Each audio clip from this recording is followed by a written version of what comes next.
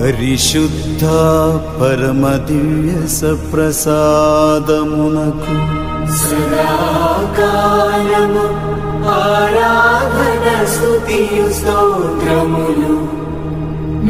स्वायुस्तार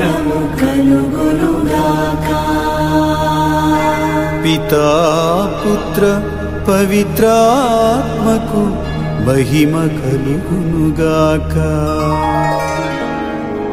పవిత్రాత్మకు మహిమ కలుగునుగాక కలిగినట్లు ఇప్పుడును మరెప్పుడును? సదాకాలము కలుగునుగాక. పరిశుద్ధ పరమ దివ్య సప్రసాదమునకు సదాకాలము ఆరాధన స్తుతియు స్తోత్రములు. నమస్కారము కలుగునుగాక. పితా పుత్ర పవిత్రాత్మకు మహిమ కలుగునుగాక. ఆదిలో కలిగినట్లు ఇప్పుడును మరిప్పుడును సదాకాలము కలుగునుగాక. కలుగునుగాక సదాకాలము కలుగునుగాక హల్లెలూయా హల్లెలూయా హల్లెలూయా హల్లెలూయా హల్లెలూయా హల్లెలూయా హల్లెలూయా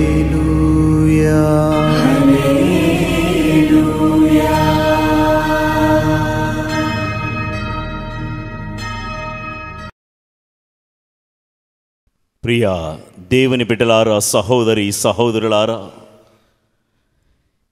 ఈ రెండు వేల ఇరవై మూడవ సంవత్సరపు చివరి గడియల్లో ఉంటూ ఈ సంవత్సరమంతా ప్రభువు మనకు చేసిన మేలులు ఉపకారాలు తలంచి దేవునికి నిండు హృదయముతో కృతజ్ఞతా స్తోత్రాలు తెలపడానికి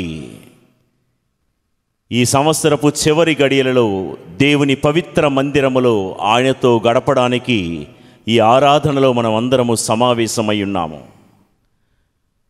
దేవుడు మనకి ఏం చేశాడని దేవుడికి వందనాలు అర్పించడానికి అని ఎవరైనా ప్రశ్నిస్తే ఆ ప్రశ్నకు జవాబు కీర్తనల గ్రంథం నూట పదహారవ కీర్తన ఎనిమిదవ వచనములో భక్తుడు ఇలా అంటున్నాడు ఆయన నన్ను మృత్యువు నుండి రక్షించెను. నా కన్నీటిని తుడిచెను. నన్ను జారిపడి పోనీయడయ్యను ప్రియులారా ఆ ప్రభు వైపు చూస్తూ ఆయనను ఆరాధిస్తున్న మనల్ని దేవుడు ఎన్నో సందర్భాలలో మృత్యువు నుండి రక్షించలేదా? రోడ్డు ప్రయాణాలలో నుండి పనిపాటులకు వెళ్తున్నప్పుడు వస్తున్నప్పుడు మన కార్యాలన్నిటా ఎంతోమంది మన తోటివారు మనతోనే ప్రయాణిస్తున్నవారు. అదే రోడ్డు మీద ఎంతమంది చనిపోలేదు. అదే రోగం వచ్చి ఎంతమంది సమాధిలోకి వెళ్ళిపోలేదు. అవే క్రిమికీట కీటకాలు కుట్టి ఎంతమంది మరణవాత మృత్యువాత పడలేదు. కానీ దేవుడి ఎదుట నమస్కరించి ఈరోజు వందనాలు చెప్పడానికి మొదటి కారణం ఆయన నన్ను మృత్యువు నుండి రక్షించను కనుక అందరు రెండు చేతుల పైకెత్తి హాలే లూయా హాలే లూయా హాలే లూయా ఇక అదే కీర్తన నూట పదహారు ఎనిమిదిలో భక్తుడు అంటూ ఉన్నాడు నా కన్నీటిని తుడిచాడు ఆయన అందుకే ఈరోజు ఆయనను స్తుతించకుండా ఎవరు నన్ను ఆపలేరు. ఈ లోకములో ఉన్న వారందరూ నన్ను ఏడిపించిన వాళ్ళే. నా అని అనుకున్న వాళ్ళు నా బంధువులు నా స్నేహితులు నా రక్తం పంచుకుని పుట్టిన వాళ్ళు అందరూ ఏదో ఒక కారణంతో ఈ సంవత్సరంలో ఎప్పుడో ఒకప్పుడు నా కన్నీటికి కారణమైన వాళ్ళే. అందరూ నన్ను ఏడిపిస్తూ ఉంటే నేను ఆరాధిస్తున్న ఈ దేవుడు నా కన్నీటిని తుడిచాడు. నా కన్నీటిని తొడవడం మాత్రమే కాదు నా ఇంటి దుఃఖాన్ని నాట్యంగా మార్చాడు కనుక మరొకసారి అందరం శుద్ధిద్దాం. హాలే లూయా. హాలే లూయా హాలే లూయా ఇక అదే కీర్తనలో భక్తుడు అంటూ ఉన్నాడు ఆయన నన్ను జారిపడి పోనీయడయ్యను అని. ఎంతోమంది ఎన్నో ప్రయత్నాలు చేసి జారిపోయారు పడిపోయారు ఓడిపోయారు. ఇక నా వల్ల కాదు ఇక నా బ్రతుకింతే అని ఎంతోమంది చతికిల పడిపోయారు అందులో నీవు ఉన్నావేమో నేను ఉన్నానేమో. ఈ సంవత్సరంలో ఎన్నోసార్లు జారిపోయాం. చదువుల్లో జారిపోయిన వాళ్ళం కొంతమంది క్రమం తప్పిన ఆలోచనల్లో జారిపోయిన వాళ్ళం మరికొంతమంది ఆర్థిక ఇబ్బందుల్లో మోసపోయిన వాళ్ళం మరికొంతమంది ప్రేమ పేరట భక్తి పేరట మోసపోయి జారిపోయిన వాళ్ళం మనలో ఎంతోమంది ఉన్నాం. జారిపోతున్న ప్రతిసారి మనల్ని జారిపోనివ్వలేదు కానీ ఆయనే తన చేతులు అడ్డుపెట్టి మనల్ని లేవనెత్తిన దేవుడు మనల్ని కాపాడిన దేవుడు. హాలేలుయా. హాలేలుయా. ఈ నూట పదహారవ కీర్తన ఎనిమిదవ వచనములో దేవా నన్ను మృత్యువు నుండి తప్పించావు నా కన్నీటిని తుడిచావు నన్ను జారిపడి పోనీయలేదయ్యా. అందుని బట్టి నీకే వందనాలు స్తోత్రాలు అని దేవుణ్ణి మనము కూడా మహిమపరుస్తున్నాము ఈ ఆరాధనలో.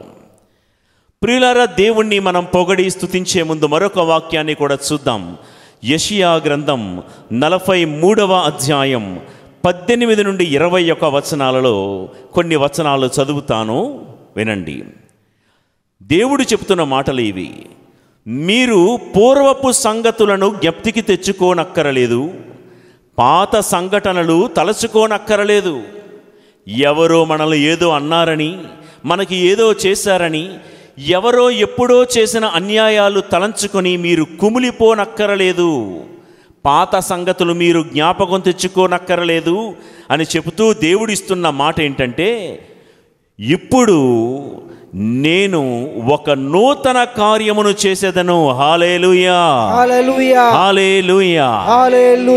దేవుని ఆరాధిస్తున్న నా ప్రియ సహోదరి సహోదరుడా ఎప్పుడో రగిలిన గాయాలు తగిలిన గాయాలు తలంచుకొని కుమిలిపోతున్నావా? అయిన వారే నాన్న అనుకున్న వాళ్ళే నాకు అన్యాయం చేశారు. ఈ లోకంలో న్యాయం ఎక్కడుంది? ధర్మం ఎక్కడ ఉంది? అని ఎన్నోసార్లు నువ్వు కుమిలిపోలేదు. ఈ ఆ- ఈ రాత్రి దేవుని ఆరాధిస్తున్న నీకు నాకు దేవుడిస్తున్న శుభవార్త ఏంటంటే పాత విషయాలు తలంచుకొని ఇక కుమిలిపోనక్కరలేదు. ఇప్పుడు నేను ఒక నూతన కార్యము చేసేదను. ఈ మన ధ్యానాంశం యొక్క అంశం ఏంటంటే బయటపడదాం. దేని నుంచి బయటపడాలి?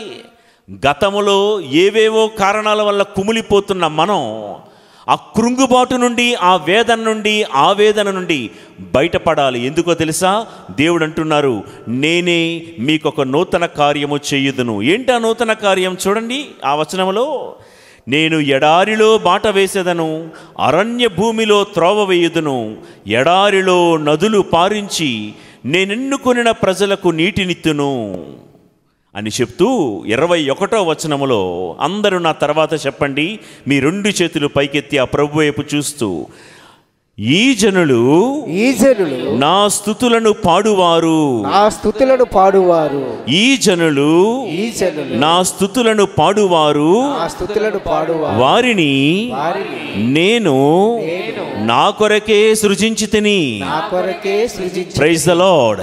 Hallelujah hallelujah బహు చక్కటి మాట. ఈ రాత్రి ఈ ఆరాధనలో దేవుడు మన నుండి కోరుతున్న మాట ఏంటంటే నా ప్రియ బిడ్డలారా మిమ్మల్ని నా కోసం సృష్టించుకున్నాను.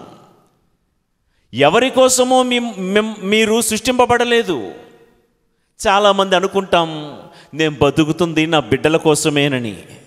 చాలామంది అనుకుంటాం నేను బతికేది నా భర్త కోసమో నా భార్య కోసమోనని.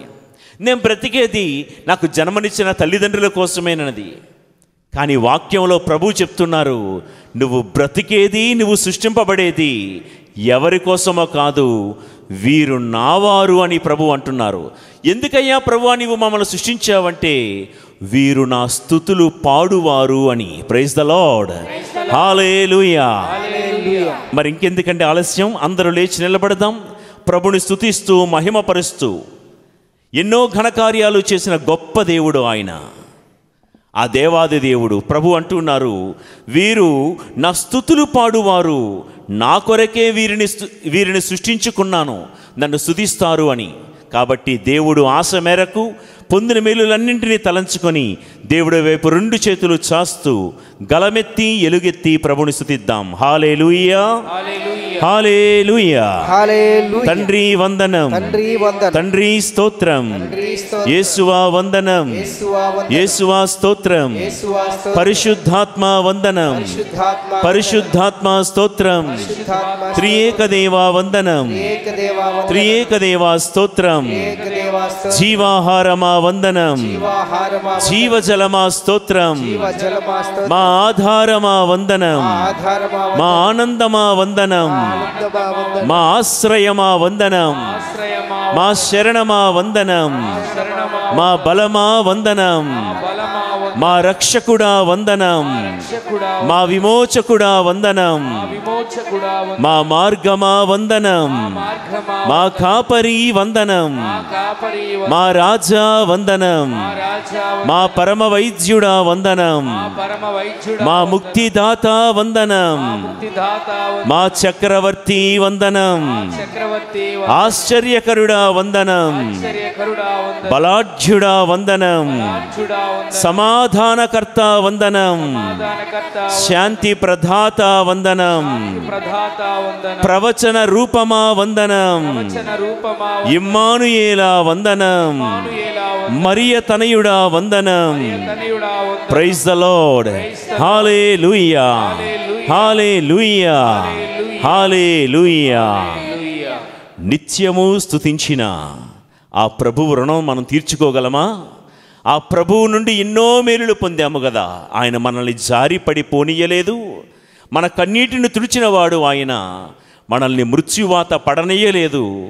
ఆ ప్రభు అంటున్నారు ఇక పాతవన్నీ మర్చిపోండి. మీ పట్ల ఒక నూతన కార్యము చేసేదను అని చెప్తున్న ఈ గొప్ప దేవుణ్ణి నిత్యము స్థుతించిన నీ రుణము తీర్చుకోలేనయ్యా ప్రభువా అంటూ ఎలుగెత్తి మనమందరము ప్రభుని స్థుతించుకుందాం ఆరాధించుకుందాం.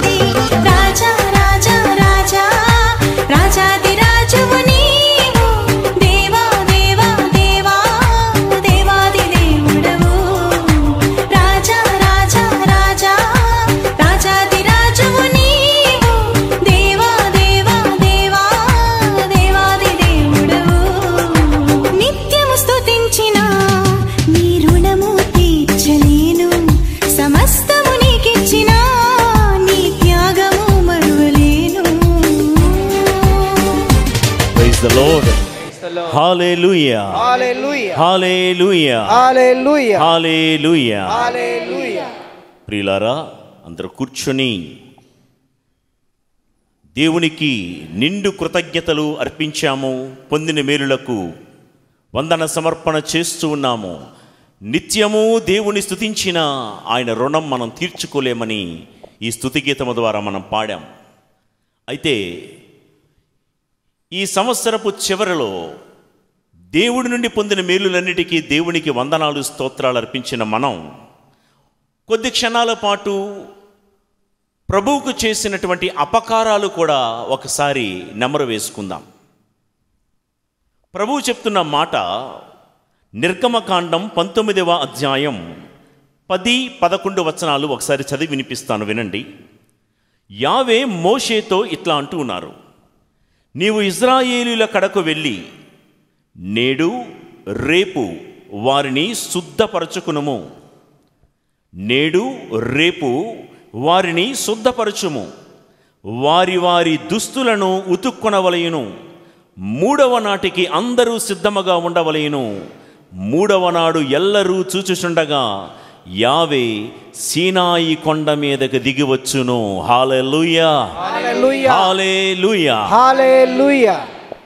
ఈ పాత సంవత్సరానికి బై బై చెప్తూ టాటా చెప్తూ కొత్త సంవత్సరం కోసం కొత్త కొత్త ఆశలతో ఎదురు చూస్తున్న మనం దేవుడు చెప్పే మాట ఏంటంటే రేపు కొత్త సంవత్సరము ఆరంభంలో నేను మీ బ్రతుకుల్లోకి రావాలి అంటే మోషేతో దేవుడు చెప్పే మాట ఏంటంటే నేడు మీ మిమ్మల్ని మీరు శుద్ధి చేసుకోండి.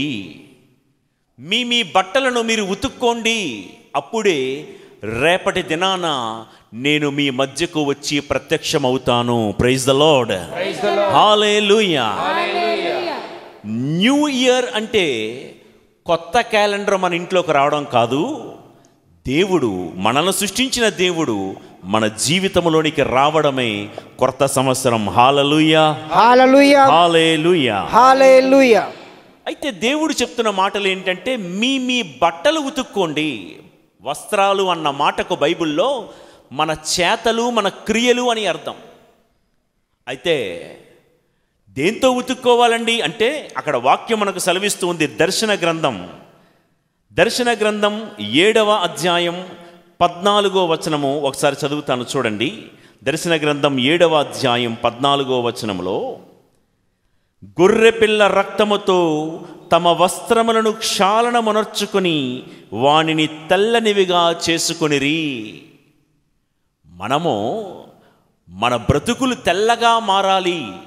ఈ సంవత్సరమంతా కూడా కట్టుకున్న పాపదోషాలన్నీ కూడా కడగవేయబడాలి అంటే రెండు సబ్బుతోనో వాషింగ్ పౌడర్ నిర్మాతోనో కడుక్కుంటే కాదండి. వాక్యం చెప్తుంది గొర్రెపిల్ల అయిన క్రీస్తు ప్రభు యొక్క రక్తములో మన మన జీవితాలు కడుక్కుంటే నేడు మీరు శుద్ధి చేసుకుంటే రేపు ఖచ్చితంగా మీ బ్రతుకుల్లోనికి నేను వచ్చి తీరుతాను అని దేవుడు మనకిస్తున్నటువంటి వాగ్దానం. అయితే ఇక్కడ ఆరాధనలో పాలు పంచుకుంటున్న మీరు నన్ను అడగచ్చు. దేవుడు వస్తే మన జీవితంలో కలిగే మేలులు ఏంటండి అంటే టక్కా టక్కామని ఒక నాలుగు చెప్పి దేవా నువ్వు ఇన్ని మేలులు ఇవ్వడానికి మా జీవితానికి వస్తున్నా. ఈ సంవత్సరంలో ఎన్నోసార్లు నీ స్వరము వినకుండా నీ కోసము ద్వారము తెరవకుండా మేము ఎన్నో పాపాలు కట్టుకుంటేమే అని పశ్చాత్తాపడుతూ దేవుడు మన్నింపు కోరుకుందాం. చూడండి దేవుడు మన మధ్యకు వస్తే జరిగే మేలులు ఏంటంటే ప్రభు చెప్పే మాట జ్ఞాపకం ఉంచుకుందాం. ఈరోజు మీరు శుద్ధి చేసుకుంటే రేపు మీ జీవితంలోనికి నేను తప్పకుండా వస్తానని దేవుడు చెప్తున్నాడు. కానీ దేవుడు వచ్చి ఏం చేస్తారు అంటే నెంబర్ వన్ ఏది మంచో ఏది చెడో మనకు తెలుపుతారు ఆయన. ముప్పై రెండవ కీర్తన ఎనిమిదవ వచనములో ప్రభు చెప్తున్న మాట ఏంటంటే నేను నీకు ఉపదేశము చేయుదును నీవు నడువవలసిన మార్గమును చూపింతును నీ మీదే దృష్టి నిలిపి నీకు సలహా ఇత్తును. ఈ ఆరాధనలో పాలు పంచుకుంటున్న బిడ్డలారా ఈ పీఠం మీద ఉన్న దివ్య సప్రసాద ప్రభువు మనలాగా అటు ఇటు దిక్కులు చూసే దేవుడు కాదు. నీ వైపే చూస్తూ నీకు సలహా చెప్పే దేవుడు అని అక్కడ రాయబడి ఉంది. కాబట్టి దేవుడు మన జీవితంలోనికి వస్తే కలిగే మేలేంటంటే ఆయన గొప్ప ఆలోచనకర్త మంచి ఐడియాలు ఇస్తారు ఆయన. ఈ ఐడియా సిమ్ము మన జీవితాన్ని మారుస్తుందో లేదో నాకైతే తెలియదు కానీ ఆలోచనకర్త అని పిలువబడుతున్నటువంటి ఈ ప్రభు వస్తే ఆయన మనకిచ్చే ఆలోచనే మన జీవితాన్ని మార్చునుగాక. ఆయన గనక మనకు ఆలోచన చెప్ ఆలోచన చేస్తే మనం జారిపోగలమా? మనం పడిపోగలమా? ఆయనే గనక మనకు ఆలోచన ఇస్తే మనం ఓడిపోగలమా? కృంగిపోగలమా? కూలిపోగలమా? ఈ రెండు వేల ఇరవై నాలుగవ సంవత్సరములో అంటే రేపటి దినాన్న దేవుడే దిగి వచ్చి మన మధ్యకు వచ్చి ఈ క్రొత్త సంవత్సరంలో మనకు ఆలోచన సలహా చెప్పి మన బ్రతుకులన్నీ కూడా మార్చి రాగల రోజుల్లో జారిపోకుండా పడిపోకుండా ఓడిపోకుండా మనల్ని మన కుటుంబాన్ని మన బిడ్డలని సుభిక్షంగా కాచి కాపాడుదురుగాక. ఇది మొదటిది. ఇక రెండో మాట దేవుడు దిగి వస్తే కలిగే మేలు ఏంటంటే నిర్గమాకాండం మూడవ అధ్యాయం ఎనిమిదవ వచనంలో ప్రభువు చెప్పే మాట ఏంటంటే ఐగుప్తు దేశీయుల ఇనుప పిడికిళ్ళ నుండి వారిని విడిపించుటకై క్రిందికి దిగివచ్చి తిని వారిని ఆ దేశము నుండి భాగ్యవంతమై సువిశాలమై పాలు తేనెలు జాలువారునదై కణానీయులు హిత్తీయులు అమోరీయులు పెరిస్సీయులు హివ్వీయులు ఎబూసీయులకు నిలయమై ఉన్న దేశమునకు నేను చేర్తును అని. కాబట్టి ప్రియులకు దేవుని బిడలారా ఆయన దిగి వస్తే ఏం చేస్తారంట? నడిపిస్తారు. సుమారు నాలుగు వందల ముప్పై సంవత్సరాలుగా బానిస సంఖ్యలలో ఉన్నటువంటి ఇజ్రాయేలులను బానిస సంఖ్యలు త్రించి వారిని విడిపించి నడిపించి కణానుకు చేర్చినట్లుగా. నా మాట వినండి. ఈ రెండు వేల ఇరవై మూడవ సంవత్సరంలో నాడు ఇజ్రాయిలు ప్రజలు ఐగుప్తు దేశంలో రకరకాల సమస్యల్లో చిక్కుకున్నట్లు ఈ సంవత్సరంలో కూడా ఏ సమస్యల్లో చిక్కుకున్నావా? ఏదైనా చిక్కుల్లో ఏదైనా ప్రశ్నల్లో ఏవేవో బంధకాల్లో వ్యసనాల్లో నువ్వు బంధించబడి ఉన్నావా? మనం ఆరాధిస్తున్న దేవుడు ఏం చేస్తారో తెలుసా?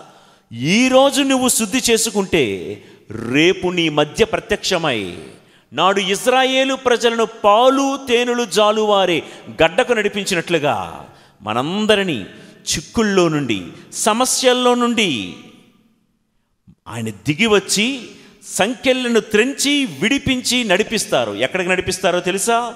మంచి అనుభవాలకు నడిపిస్తారు. ఆయురారోగ్యాలు ఇచ్చే సేమకు మనల్ని నడిపిస్తారు.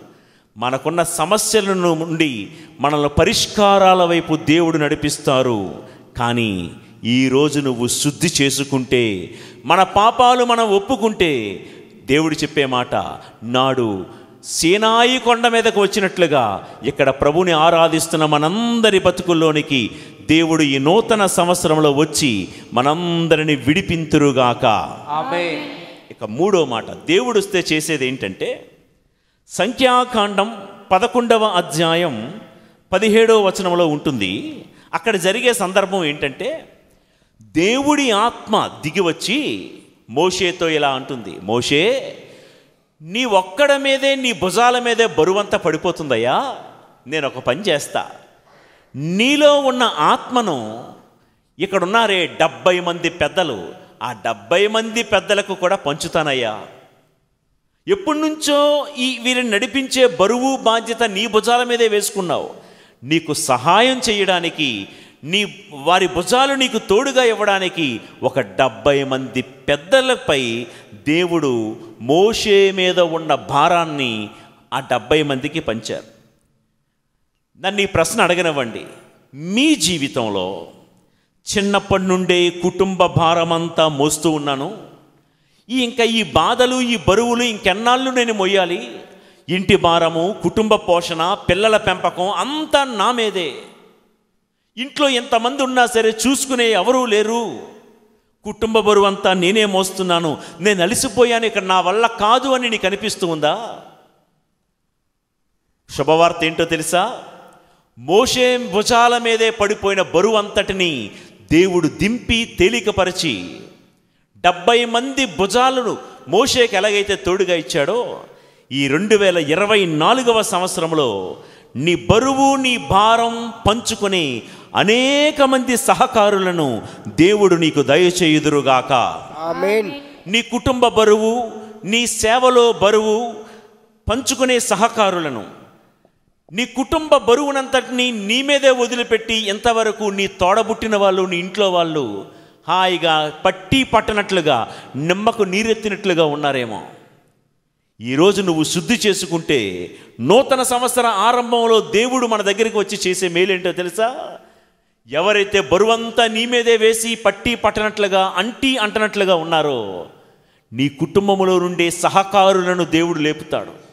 నీ తోబట్టువులే నీకు సహాయపడేలాగా నీ నీ కోడలే నీకు సహాయపడేలాగా మీ అత్తగారే నీకు సహాయపడేలాగా సొంత అన్నదమ్ములే నీకు సహాయపడేలాగా ఇంతవరకు నాకు అనవసరం. వాళ్ళు వేరు వాళ్ళ కుటుంబం వేరు వారి సమస్యలు వేరు. వాళ్ళ గురించి నాకెందుకని ఉన్న వాళ్ళు నీ భుజభారం పంచుకునేలాగా దేవుడు ఆశీర్వదిస్తారు ఈ రెండు వేల ఇరవై నాలుగవ సంవత్సరంలో. కానీ నేడు నువ్వు శుద్ధి చేసుకుంటే రేపు దేవుడు వచ్చి చేసే కార్యం ఇది praise the Lord praise the Lord ఇక నాలుగో మాట కూడా చెప్పి మనం ముందుకు వెళ్దాం. నిర్గమకాండం ఇరవయవ అధ్యాయము ఇరవై నాలుగో వచనములో దేవుడేమంటున్నారంటే నేనే నీ కడకు వచ్చి నిన్ను దీవింతును అని. దేవుడు అంటున్నారు నేనే వస్తానయ్యా నీ దగ్గరికి. మనం ఎక్కడ ఉన్నా ఎలా ఉన్నా నా అని మనం ఎవరినైతే అనుకుంటున్నామో వాళ్ళందరూ మనల్ని వదిలేసిన నిన్ను విడువక నీ వద్దకే దిగివచ్చి నిన్ను సమృద్ధిగా తృప్తిగా దీవించే దేవుడు మనం ఆరాధిస్తున్న దేవుడు. Praise the Lord praise the Lord హాలే హల్లెలూయా ఈ క్షణములో దయచేసి అందరూ మోకరిద్దాం. అలా దేవుడు మన దగ్గరకు రావాలి అంటే అలా దేవుడు మన దగ్గరకు రావాలి అంటే సామెతల గ్రంథం ఇరవై ఐదవ అధ్యాయము నాలుగు ఐదు వచనాలలో వెండి నుండి మాలిన్యమును తొలగించినచో అది శుద్ధిని పొంది తలతలలాడును.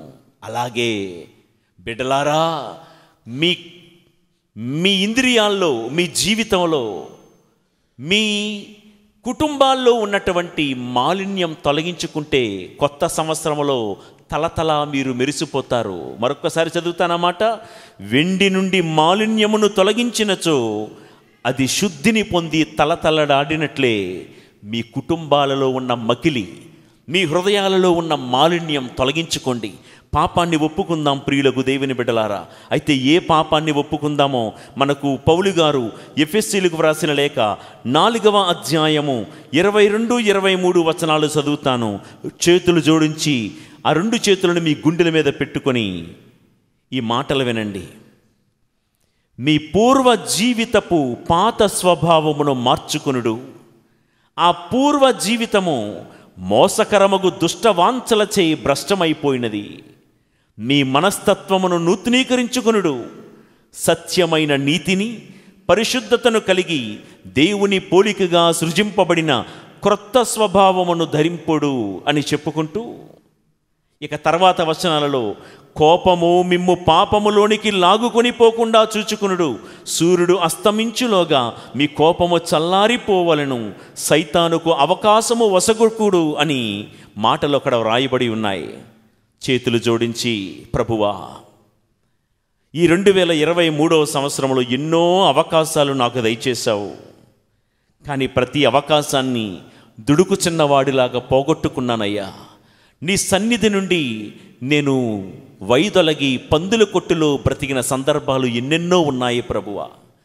కుక్క తాను కక్కిన కూటికి ఆశించినట్లే ఎన్నోసార్లు నాకు నేనుగా వదిలేసిన పాపాలను పరిత్యజించిన పాపాలను వ్యసనాలను మరలా వాటి జోలికి వెళ్ళి అందులో పడిపోయానయ్యా అని పాపాన్ని ఒప్పుకుంటూ ఈ కనులుండి నిన్ను చూడలేకపోయానయ్యా ఈ చెవులుండి నీ స్వరాన్ని వినలేకపోయానయ్యా.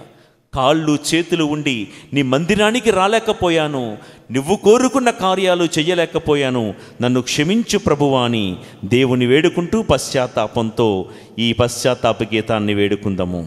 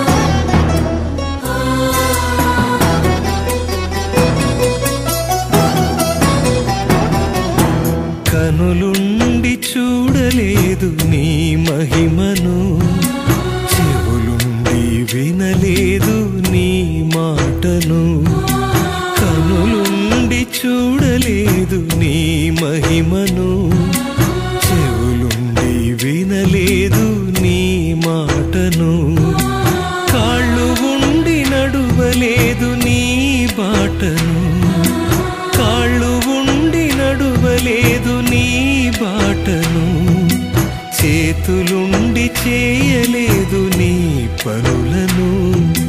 చేతులుండి చేయలేదు నీ పనులను.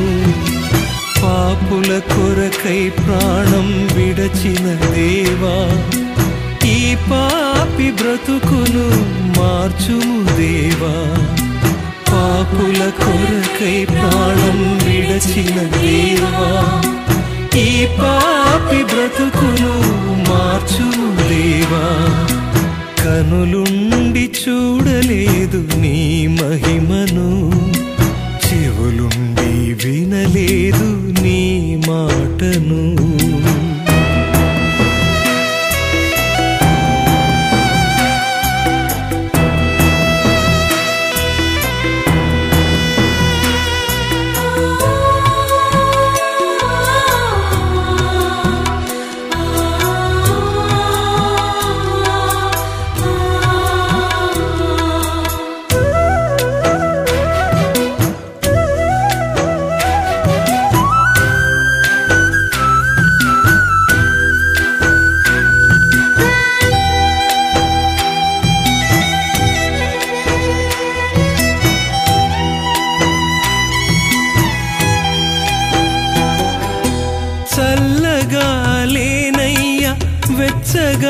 లేనయ్యా నులివెచ్చని తనముతో బ్రతుకుచుంటినయ్యా.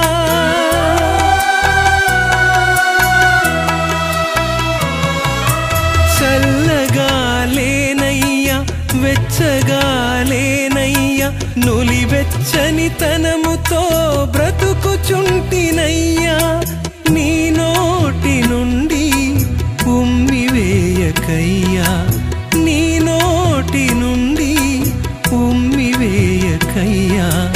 బలహీనుడనైన నన్ను బలపరచుమయ్యా. బలహీనుడనైన నన్ను బలపరచుమయ్యా. కనులుండి చూడలేదు నీ మహిమను. చెవులుండి వినలేదు నీ మాటను. కనులుండి చూడలేదు నీ మహిమను.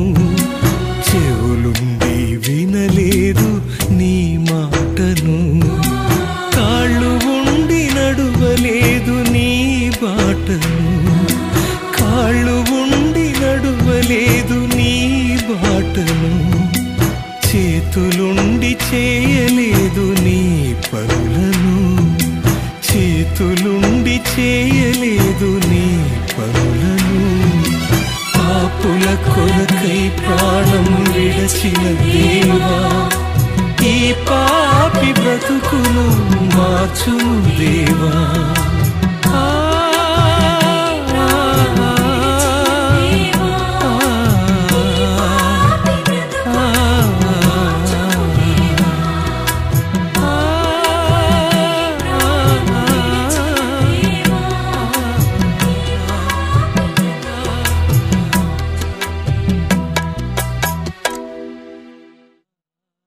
పరిశుద్ధుడైన దేవాది దేవుడు.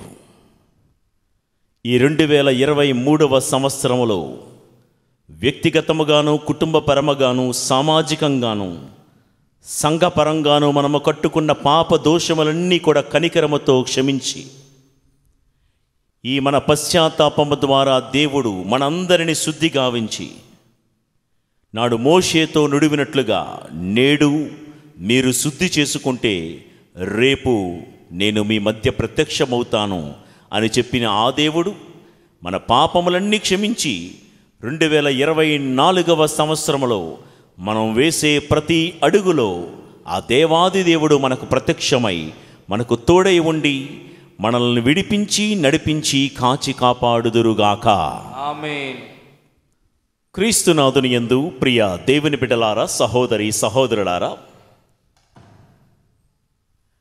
ఈ ఆరాధనలో దేవుడు మనకిచ్చే సందేశం.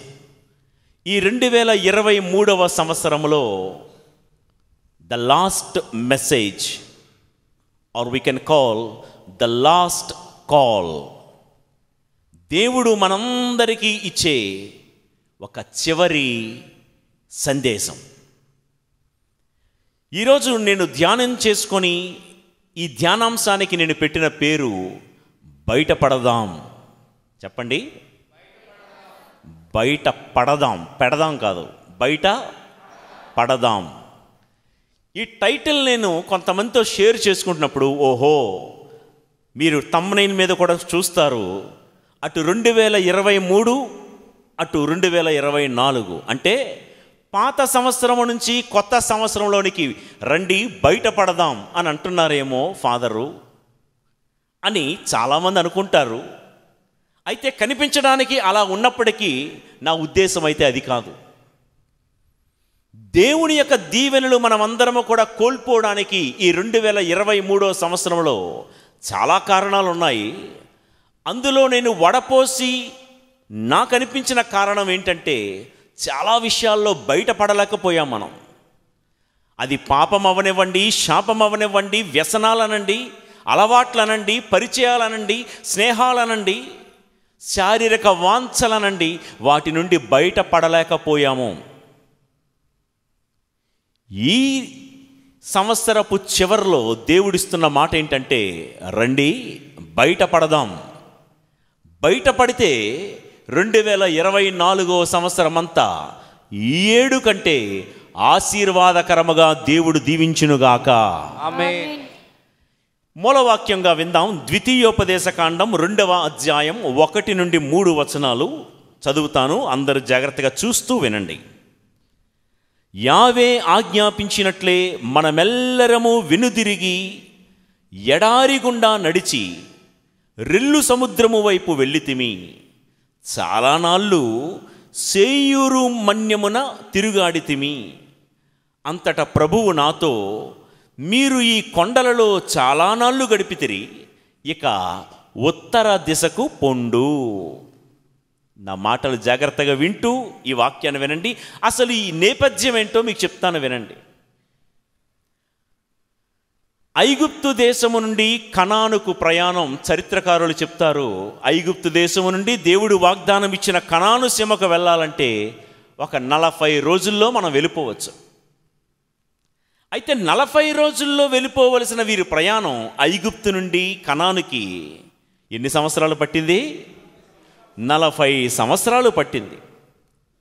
ఆల్రెడీ ఇజ్రాయేలు ప్రజలు మోషే నాయకత్వంలో ఎర్ర సముద్రాన్ని దాటేశారు సేనాయి పర్వతాన్ని దాటేశారు. ఇంకొన్ని రోజుల్లో అదిగదిగదిగదిగదిగో మన గమ్యాన్ని చేరిపోతాం అని అనిపిస్తూ ఉండగా గమ్యానికి ఆమడ దూరంలో కొంచెం దూరంలో ఉంటూ ఉండగా ఇదిగో మరికొన్ని క్షణాల్లో చేరిపోతామనగా చేరాల్సిన వారి గమ్యం దూరమైపోయింది. వారికి దక్కాల్సిన దీవెనలు దూరమైపోయాయి. ఒకటా రెండా నలభై సంవత్సరాల పాటు ఇట్ గాట్ డిలేయిడ్. నలభై సంవత్సరాల పాటు వారికి దీవెనలు అందినట్టే అందాయి కానీ దూరంగా వెళ్ళిపోయాయి. ఎన్ని సంవత్సరాలు? నలభై సంవత్సరాలు. నలభై రోజుల్లో చేరాల్సిన వారి ప్రయాణం నలభై సంవత్సరాలు ఎందుకు పట్టింది? ఇంకొన్ని రోజుల్లో చేరిపోతామనగా గమ్యానికి ఆమడ దూరంలో ఉంటామనగా వారి యొక్క గమ్యం గమ్యానికి చేరకుండా ఏ అరణ్యము చుట్టూ తిరిగారని చదివాను? సెయ్యూరు అరణ్యము. అందరు చెప్పండి సెయ్యూరు అనండి? మరొకసారి సెయ్యూరు ఈ మాట గుర్తుపెట్టుకోండి. దీని అర్థం ఏంటో తర్వాత మాట్లాడుకుందాం. ఆ ఆ కొండల చుట్టే ఆ అరణ్యం చుట్టే ఆ అరణ్యం పేరు సెయ్యీరు అరే ఒక అడుగు దూరమే ఒక అడుగు వేస్తే మీరు గమ్యానికి చేరిపోతారనగా ఈ సెయ్యీరు అని పిలువబడే ఈ అరణ్యం చుట్టే ఈ మన్యము చుట్టే ఎందుకు తిరిగారు? మనం నేర్చుకుందాం. మన జీవితంలో కూడా ఈ రెండు వేల ఇరవై మూడవ సంవత్సరంలో ఇలాంటి అనుభవాలు చాలామందికి ఎదురయ్యాయేమో. అందినట్లే అనిపించి అందనంత దూరానికి చాలా దీవెనలు వెళ్ళిపోయాయేమో. నోటికాడకొచ్చినట్లే వచ్చి ఎవరో తండుకుపోయినట్లుగా ఎన్నో ఆశీర్వాదాలు మన ఇంటి గడపలో నుంచి దూరం అయిపోయాయేమో ఈరోజు నా ప్రశ్న ఏంటంటే why this delay why this situation ఇలా మనకు దక్కాల్సిన ఆశీర్వాదాలు దూరం అయిపోవడానికి వాయిదా పడిపోవడానికి కారణం ఏంటి? ఇలాంటి పరిస్థితి రావడానికి ఏంటి కారణం? మనం ఒక నాలుగు విషయాలు నేను చెప్తాను తర్వాత మనం దేవుని యొక్క దీవెనలు మనం పొందుకుందాం. ఇలా కొన్ని దీవెనలకు మనం దూరం అవ్వడానికి కారణం ఏంటి? సెయిరు అనే అరణ్యము చుట్టూ తిరిగిన వారి అనుభవాలకు కారణాలు ఏంటి? రెండు వేల ఇరవై మూడవ సంవత్సరంలో జరగాల్సిన పనులు జరగకపోవడానికి కొన్ని కొన్ని కొన్ని కొన్ని కార్యాలు కొన్ని కొన్ని ఆశీర్వాదాలు అందినట్టే అంది దూరమైపోవడానికి కారణం ఏంటో తెలుసుకొని ఆ కారణాల నుంచి బయటపడదాం రండి అని నేను పిలుస్తున్నాను మీ అందరినీ. రెండు వేల ఇరవై నాలుగో సంవత్సరం ఇలాగే ఉండిపోకూడదు. మనం మనల్ని ఆపేసి మన గమ్యాన్ని నుండి మనల్ని దూరం చేసినటువంటి కొన్ని కారణాల నుండి మనం బయటపడాలి. మన మనకు అందినట్టే అంది అందకుండా పోయినవి ఎందుకు పోయాయి? ఆ కారణాల నుంచి మనం బయటపడాలి. నంబర్ వన్ ఎందుకు వీరు ఆశీర్వాదాలకు దూరం అయిపోయారు? నలభై రోజుల్లో చేరాల్సిన గమ్యం నలభై సంవత్సరాల జాప్యం ఎందుకయింది?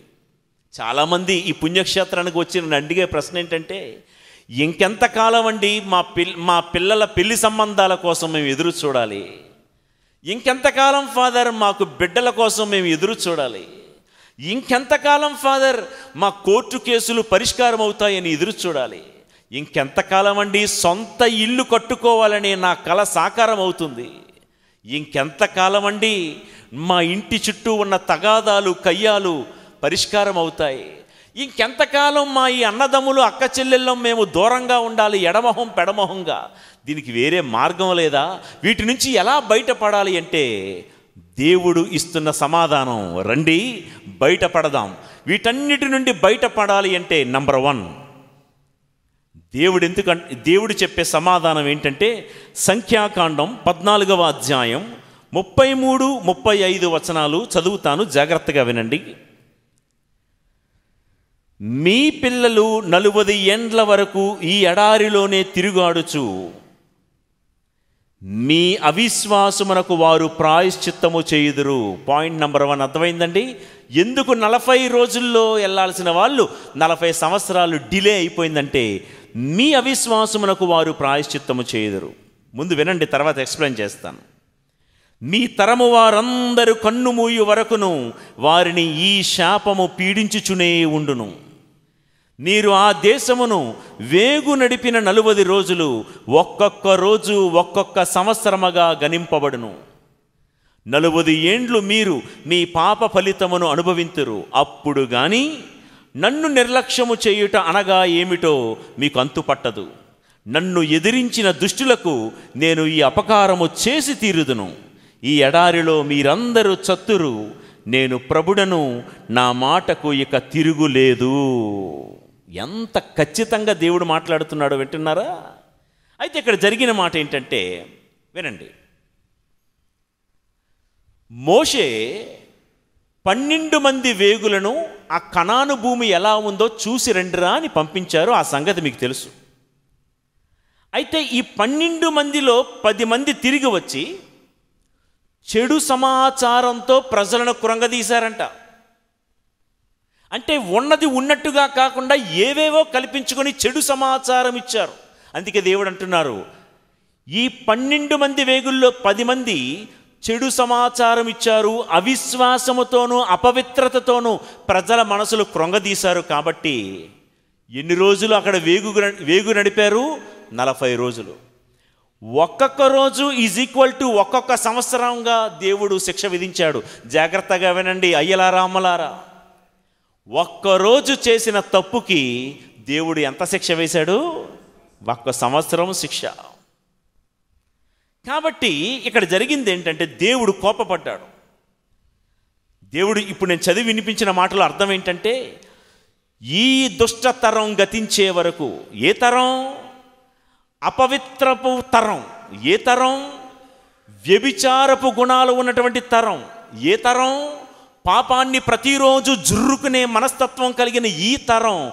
చచ్చిపోయినంత వరకు అది గతించినంత వరకు మీరు నేను వాగ్దానం ఇచ్చినటువంటి కణాను గడ్డలో మీరు అడుగు పెట్టరు అని చాలా క్లియర్గా దేవుడు చెప్తున్నాడు ప్రియులకు దేవుని బిడలారా ఈ తరం గతిస్తేనే కానీ నేను మిమ్ము కణాను చేర్చను. గతించే వరకు మరి ఎక్కడుంటారయ్యా వీరంటే సెయ్యీరు అనేటువంటి అరణ్యం చుట్టే వీరు తిరుగుతూ ఉంటారు. నా ప్రియ దేవుని బిడ్డలారా మన జీవితంలోనూ కణాను అనే భూమిని మనం రెండు వేల ఇరవై నాలుగవ సంవత్సరంలో కణాను అనే ఆశీర్వాదాలు మనం పొందాలి అంటే దేవుడు చెప్పే మాట ఏంటంటే ఈ దుష్టతరం మీలో చచ్చిపోయినంత వరకు మీరు కణాను భూమి చేరలేరు.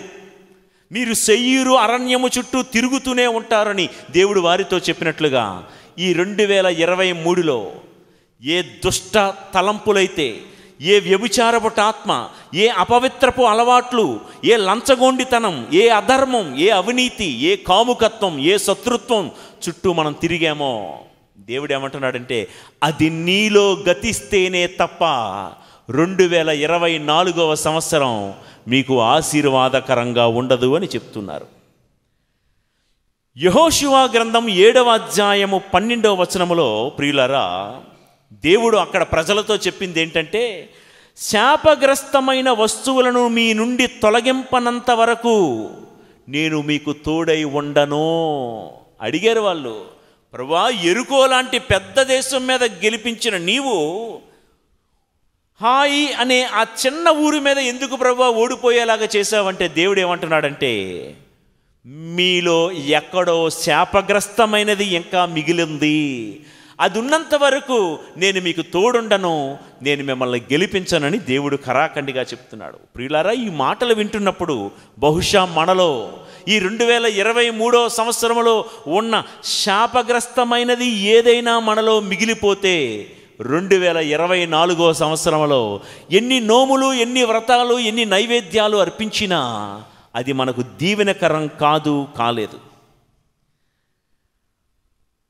ఒక విచారణలో పనిచేస్తున్న రోజుల్లో ఆ కుటుంబం చాలా నిరుపేద కుటుంబం తినడానికి తిండి లేని పరిస్థితి వచ్చేసింది వాళ్ళకి.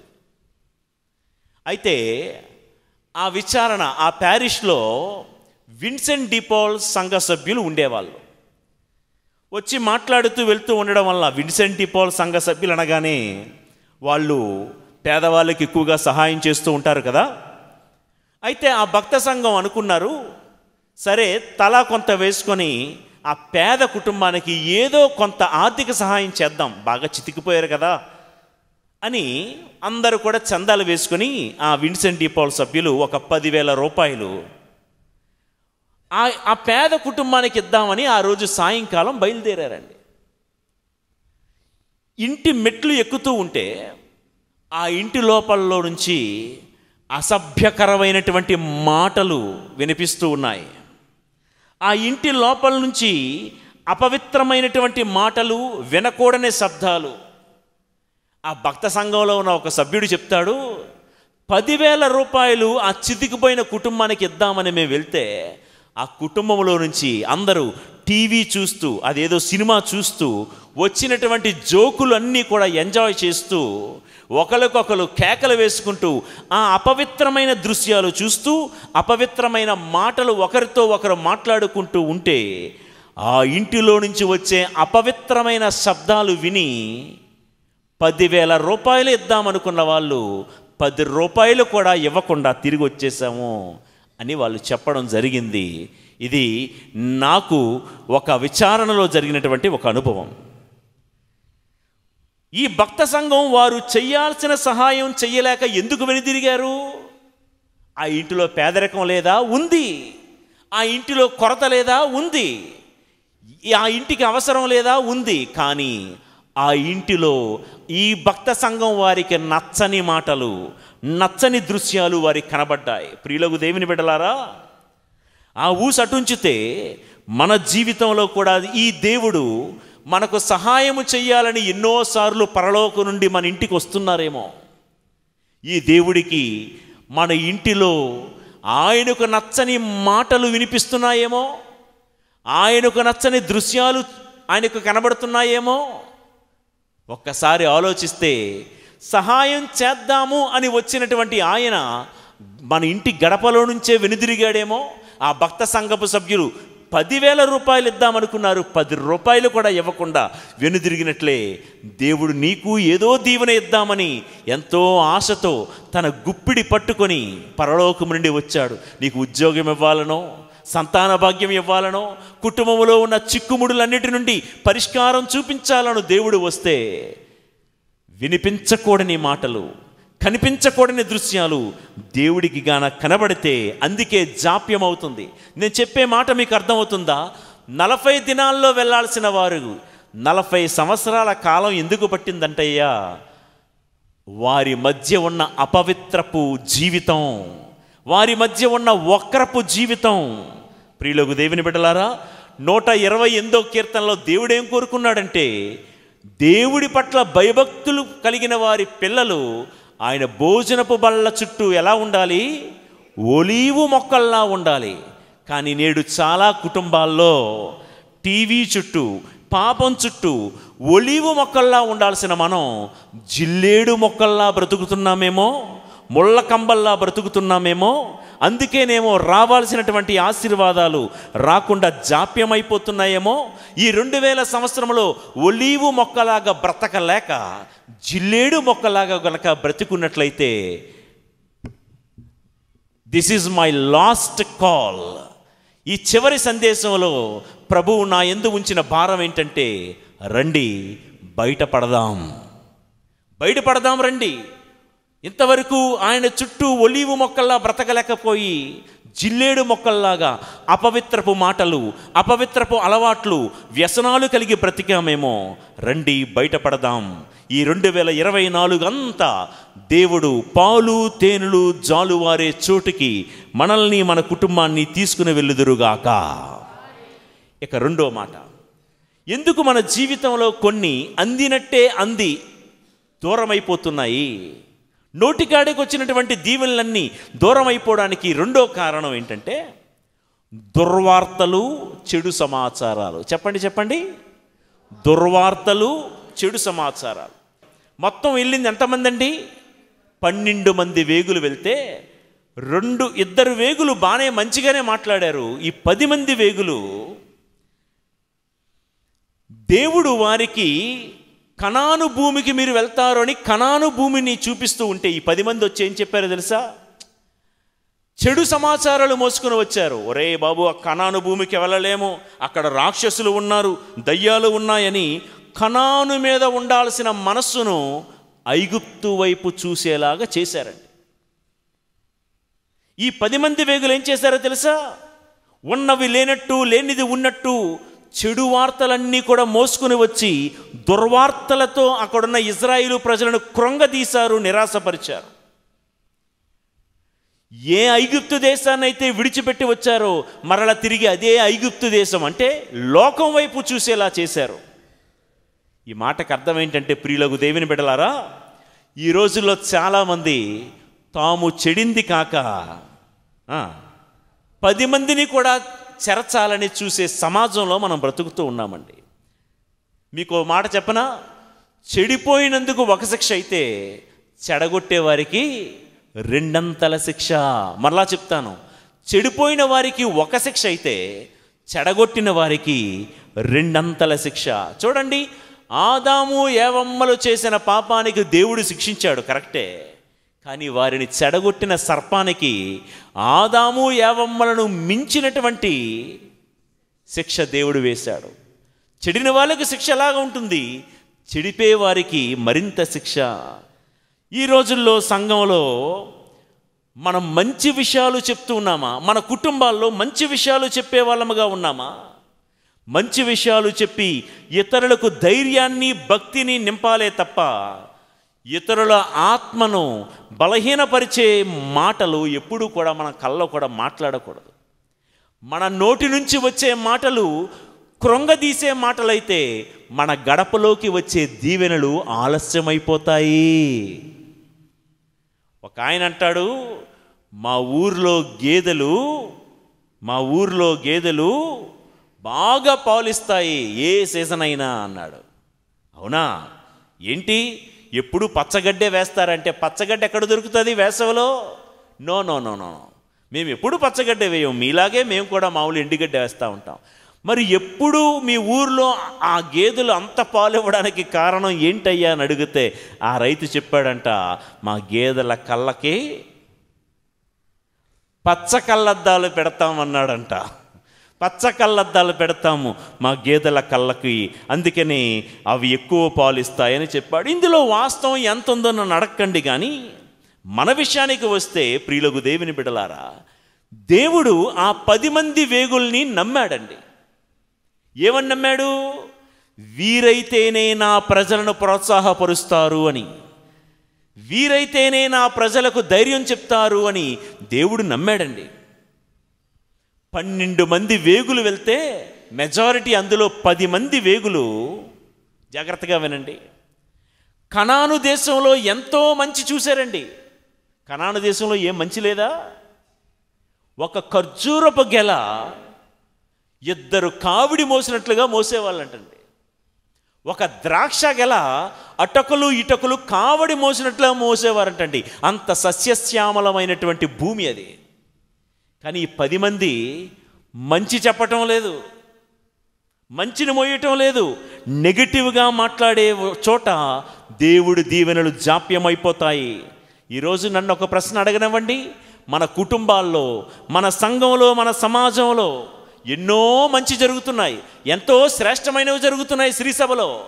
కానీ మన మాటలు ఎట్లా ఉంటాయి. ఆ బిషప్ అలాగా ఈ గురువులు ఎలాగా ఈ కన్యాస్త్రీలు ఎలాగా ఆ టీచర్ ఇలాంటోడు ఆ పోలీస్ అలాంటోడు ఈ ముఖ్యమంత్రి అలాంటోడు ప్రభుత్వంలో ఏమీ మంచి జరగటం లేదా?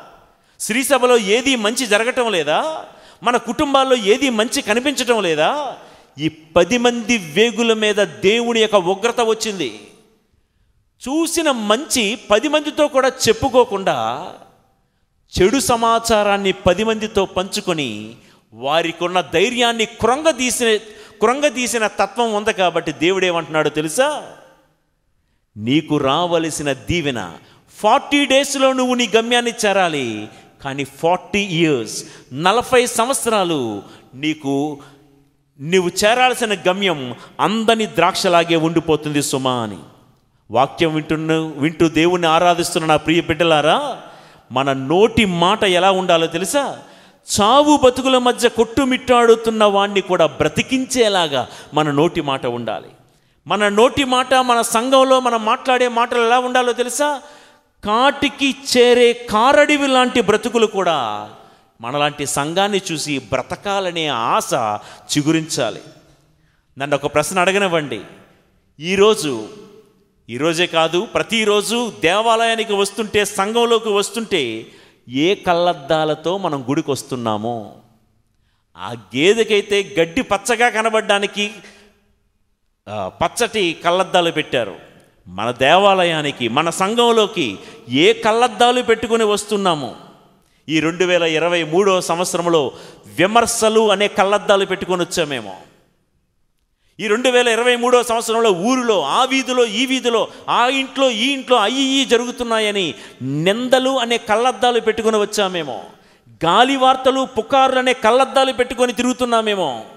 నా ప్రార్థన ఈ రెండు వేల ఇరవై నాలుగవ సంవత్సరంలో రండి బయటపడదాం. బయటపడదాం రండి దుర్వార్తలు మోసే విష సంస్కృతి నుంచి బయటపడదాం. నీకు రావలసిన దీవెన నీ ఇంటి గడప తట్టునుగాక. తప్పనిసరిగా ఏవైతే డిలే అయిపోయాయో ఏవైతే దూరం అయిపోతున్నాయో ఏదైతే వాయిదాలు పడిపోతున్నాయో అవన్నీ కూడా మనల్ని వెతుక్కుంటూ మన గడపలోనికి రావాలంటే నంబర్ వన్ అపవిత్రమైనటువంటివి శాపగ్రస్తమైనవి వాటికి దూరంగా ఉండు. దేవుడికి నచ్చని మాటల నుంచి ఆలోచనల నుంచి దూరంగా ఉండు. నెంబర్ టూ చెడు వార్తలు చెడు సమాచారాలు మోసే తత్వం నుంచి బయటపడు. ఈ రెండు వేల ఇరవై నాలుగులో ఎలా ఉండాలో తెలుసా మనం? మనం నిలబడదాం పది మందిని నిలబెడదాం. మనం బ్రతుకుదాం పది మందిని బ్రతికేలా చేద్దాం. దేవుడి పక్షాన ఒక యోధుడుగా నిలబడి సంఘంలో ఒక సాక్షిగా నిలబడదాం. చెడు మాటలు మాని అందరిలో ప్రేమ భక్తి గౌరవం మర్యాద వెళ్ళి విరిసేలాగా మనం సహాయం చేద్దాం. రైట్. ఇక త్వర త్వరగా మిగతా రెండు విషయాలు కూడా చెప్పి ముగిస్తానండి. ఇక మూడోది. మూడో విషయం.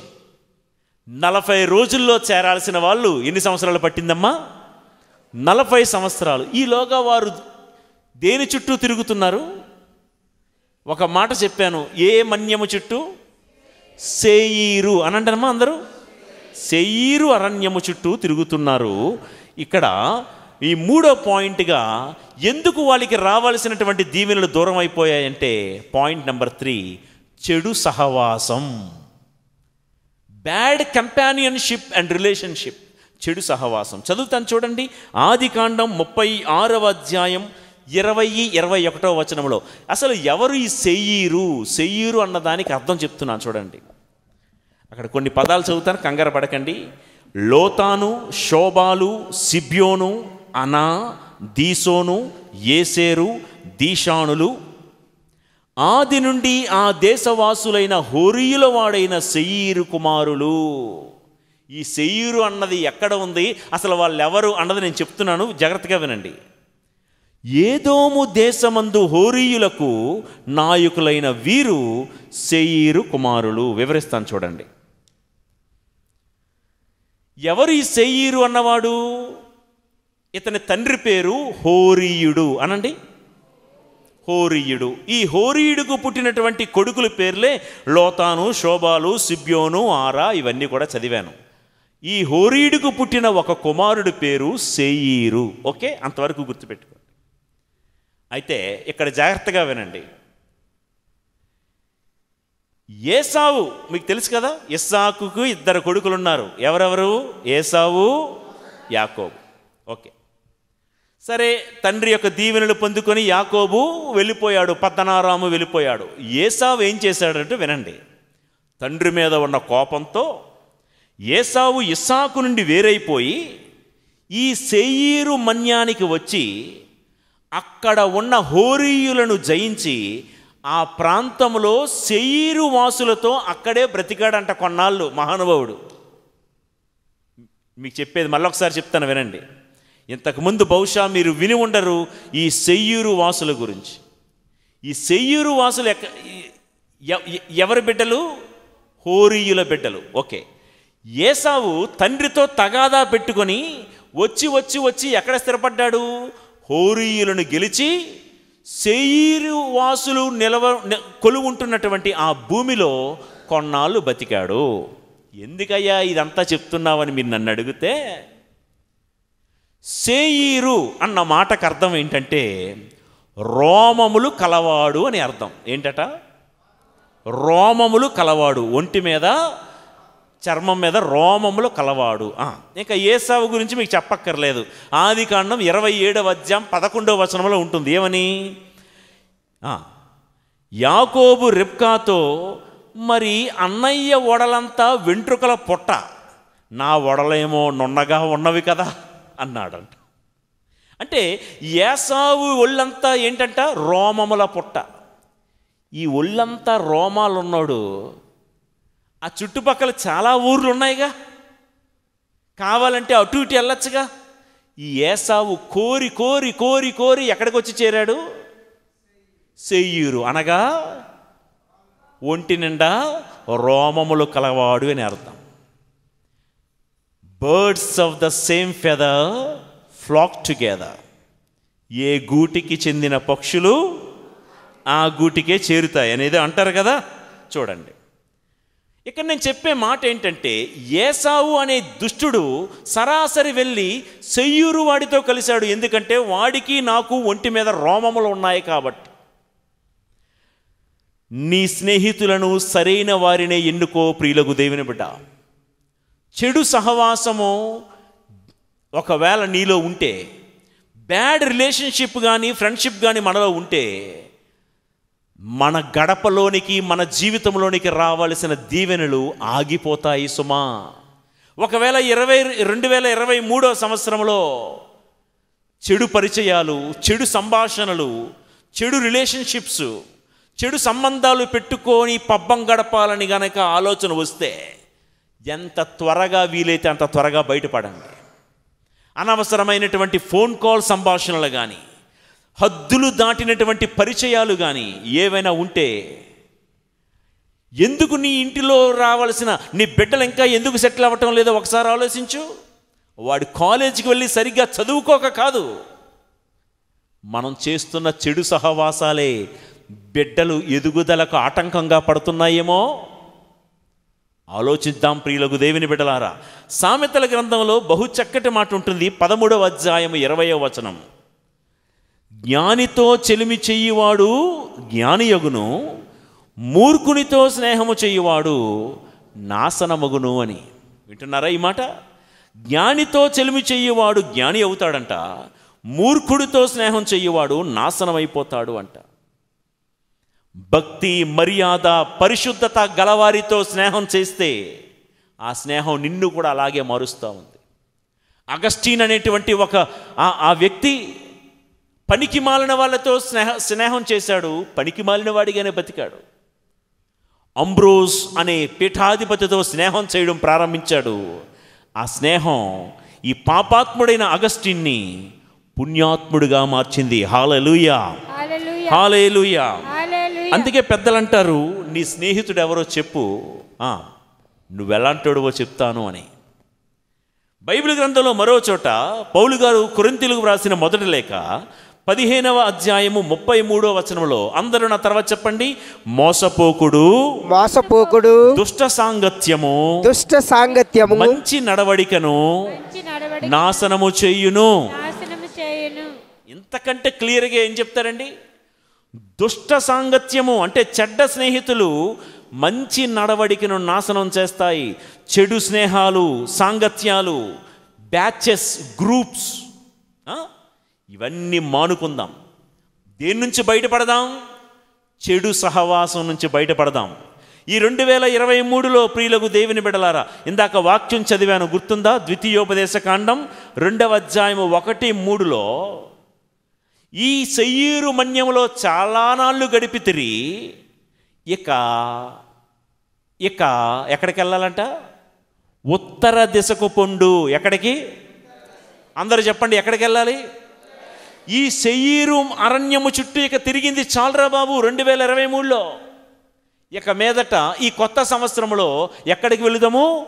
ఉత్తర దిశకు అనగా దైవ రాజ్యము పరలోక రాజ్యము వైపు మనం అడుగులు వేద్దాము. హాలలుయా. చాలా సంవత్సరాల క్రితం నాకు తెలిసిన ఒక ఇద్దరు అన్నదమ్ముల కథ మీతో పంచుకుంటాను. వింటారా? వింటారా? ఓకే. ఆ ఇద్దరు అన్నదమ్ములు కూడా మంచి కార్పెంటర్స్ వడ్రంగి పని చేసేవాళ్ళు. మంచి కష్టజీవులు. రోజు పనికి వెళ్ళేవారు వచ్చేవారు. అయితే వాళ్ళకు కొన్ని దురలవాట్లు కూడా ఉన్నాయండి. చెడు అలవాట్లు చెడు స్నేహాలు చెడు వ్యసనాలు అన్నీ ఉన్నాయి. దేవుడు మహాకృప బట్టి ఇద్దరు అన్నదమ్ములు కూడా చెడు వ్యసనాల నుంచి బయటపడి దేవుని ఆలయానికి వచ్చి దేవుణ్ణి ఆరాధిస్తూ బ్రతికుతూ ఉండేవాళ్ళు. నాకు చాలా సంతోషం వేసేది వాళ్ళని చూస్తే. అయితే కొన్నాళ్ళ తర్వాత నేనేదో పని మీద అటుగా వెళ్తుంటే నా మనసు చువుక్కుమనే ఒక దృశ్యాన్ని చూశాను. అన్న అయితే బాగానే వస్తున్నాడు గుడికి వస్తున్నాడు వెళ్తున్నాడు. తమ్ముడు ఇంతకుముందు ఏ స్నేహితులనైతే వదిలిపెట్టేశాడో ఆ స్నేహితుల మధ్య అరుగు మీద ఒక షాప్ ఉంటుంది. ఆ షాప్కి ఒక ఒక అరుగులాగా ఉంటుంది కదా. ఆ అరుగు మీద కూర్చొని ఆ స్నేహితులతో సంభాషిస్తూ ఉన్నాడు ఆ స్నేహితులతో మాట్లాడుతూ ఉన్నాడు.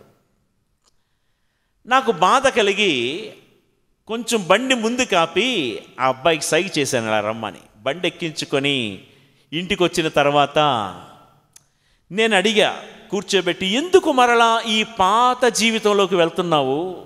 ఎందుకు మరలా ఆ పాత స్నేహితులతో కలిసి మాట్లాడుతున్నావు? అంత అక్కడి నుంచే కదా వచ్చావు ప్రభు దగ్గరికి? అని అడిగితే ఆ తమ్ముడు ఏమంటాడో తెలుసా?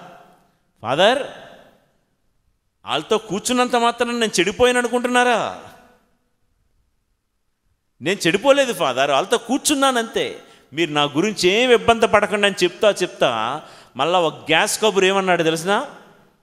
మీ వాక్యం విన్న తర్వాత ఎవరు చెడిపోతారా ఫాదర్? మీ వాక్యం విన్న తర్వాత మళ్ళీ పడిపోవడమా? నాకు చాలా కంట్రోలింగ్ పవర్ ఎక్కువ ఫాదర్ నాకు ఎంత కంట్రోలింగ్ పవర్ చెప్పంటారా మీరు ఇప్పుడే చూశారు పోయిన వారం ఏం చేశానో తెలుసా?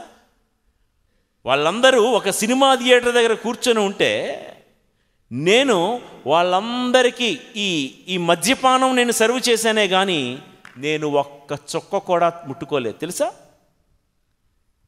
నాకు తెలియని సంగతి ఇంకోటి చెప్పాడు ఆయన. ఓహో నువ్వే పోసావా మద్యం? నేను వాక్యంలో ఎప్పుడు చెప్తా ఉంటాను కదా పాపం చేసిన వాడికి ఒక శిక్ష అయితే పాపము చెయ్యడానికి పురుకొలిపిన వాడికి రెండంతల శిక్ష. త్రాగినోడి కన్నా త్రాగడానికి డబ్బులు ఇచ్చినోడికి ఎందుకు చెప్పట్లేదు? మీరు రెండో బ్యాచ్లో ఉన్నట్టున్నారు చాలామంది. తాగినోడికి ఒక శిక్ష అయితే తాగడానికి డబ్బులు ఇచ్చినోడికి రెండంతల శిక్ష అన్నట్టు అన్నమాట. అయితే చూద్దాం. అయితే నేను జస్ట్ పోసానంతే.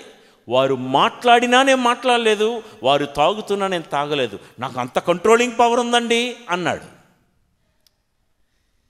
నేను ఎంత చేసినా ఫాదర్ మీరు నా గురించి ఏమీ సంశయించవద్దండి. నేను చాలా స్ట్రాంగ్ అన్నాడు.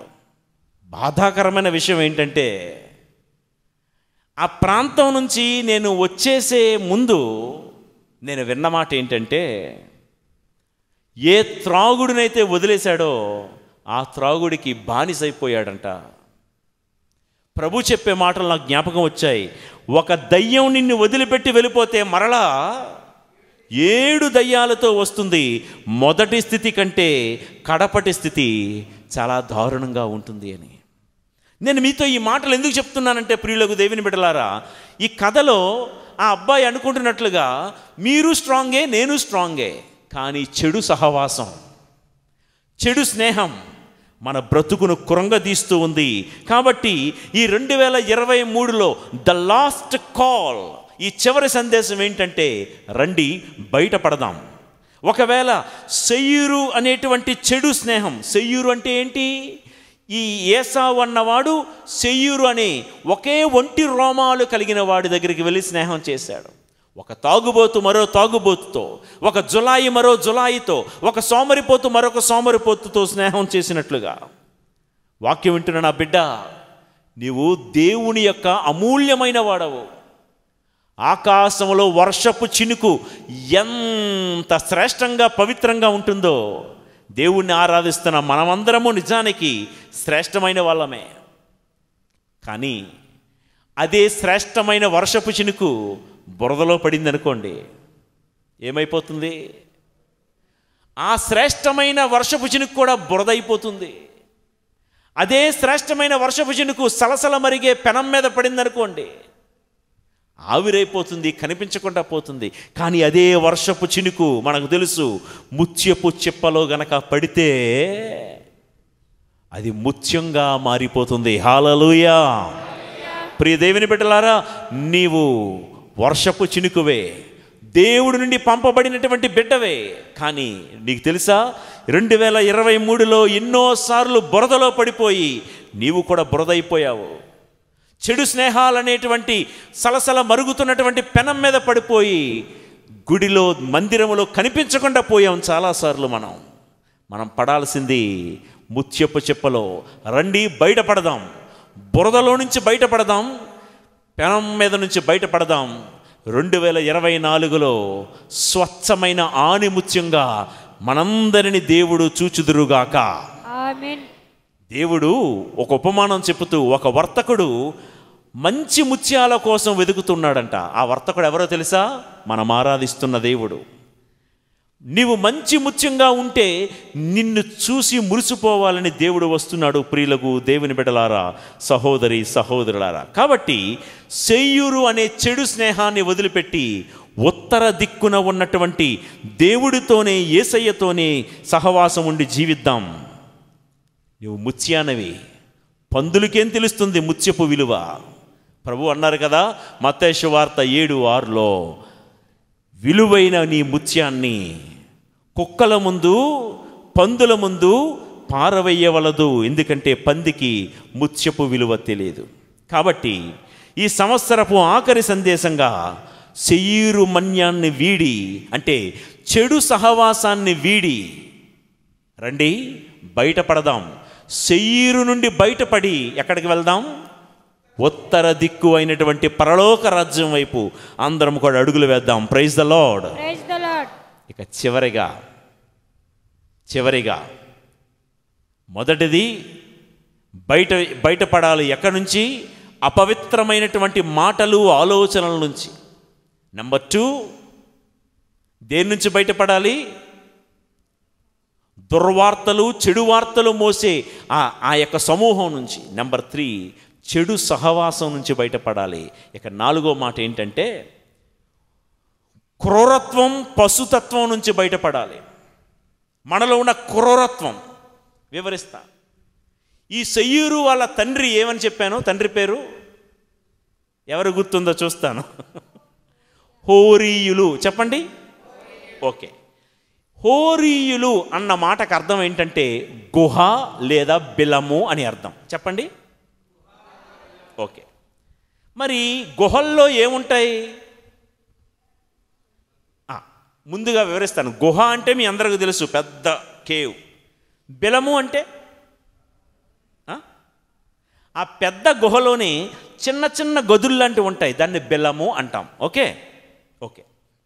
ఇప్పుడు యోబు ముప్పై ఏడవ అధ్యాయము ఎనిమిదవ వచనంలో ఏమంటాడంటే వన్యమృగములు పొదల్లో దాగి గుహల్లో దాగుకొనును. గుహల్లో ఎవరుంటారంట? వన్యమృగములు క్రూర మృగాలు ఉంటాయంట. నా వైపు చూస్తూ వినండి. మామూలుగా గుహల్లో క్రూర మృగాలు ఉంటాయి. ఎప్పుడైనా వర్షం గట్రా పడుతుంటే అడవుల్లో చిన్న చిన్న జంతువులు నక్కలు అలాంటివన్నీ కూడా గుహల్లోకి వచ్చేస్తాయి. ఈ జంతువులన్నీ గుహల్లోకి వస్తున్నాయని తెలిసి క్రూర జంతువులు ఉంటాయే పులి సింహం ఇవన్నీ. నేను చెప్పాను చిన్న చిన్న గదులు ఉంటాయని ఏమంటారు వాటిని బిలము ఏమంటారు? ఈ బిలాల్లో దాక్కుని ఉంటాయి. వర్షం కదా తడిసిపోతున్నాం కదా అని గుహలోకి వచ్చినటువంటి చిన్న చిన్న జంతువులన్నీ అటు ఇటు చూస్తాయి. ఓహో క్రూర జంతువులు ఏమీ లేవులే పర్వాలేదు. మనం కాసేపు గుహలో తలదాచుకోవచ్చు అని అలా ఉండి తలదాచుకుంటూ ఉన్న సమయంలో ఎక్కడి నుంచి వస్తాయో తెలియదమ్మా బిలాలలో నుంచి క్రూర మృగాలు వచ్చి ఆ యొక్క జంతువుల మీద పడి వారిని సర్వనాశనం చేస్తాయి పీక్కుని తింటాయి దాడి చేసి తింటాయి. హోరీయుడు మనం ఎక్కడి నుంచి బయటపడాలో తెలుసా? హోరీయుడు ఈ సెయ్యూరు నివాసం ఉంటున్నటువంటి గుహల్లో నుంచి బయటపడాలి. అంటే ఈ మాటకు అర్థం ఏంటంటే ఈ గుహల్లో ఎవరుంటారు? క్రూర మృగాలు ఉంటాయి ఈ క్రూర మృగాలకి నీతి విలువలు తెలియవు. వావి వరసలు లేవు. ఇంగిత జ్ఞానం ఉండదు. భార్యకి తల్లికి చెల్లికి అక్కకు తేడా అసలే తెలియదు క్రూర మృగాలకి. అవునా కదా? ప్రియులకు దేవుని బిడ్డలారా మనస్సు నొచ్చుకోకుండా అని చెప్పే మాటలు మంచి మనసుతో వినండి. ఈ రెండు వేల ఇరవై మూడో సంవత్సరంలో ఎందుకు కొన్ని దీవెనలు జాప్యమైపోయాయి వాయిదా పడిపోయాయి అంటే ఒకవేళ ఈ రెండు వేల ఇరవై మూడులో నీతి విలువలు తప్పి బ్రతికామేమో?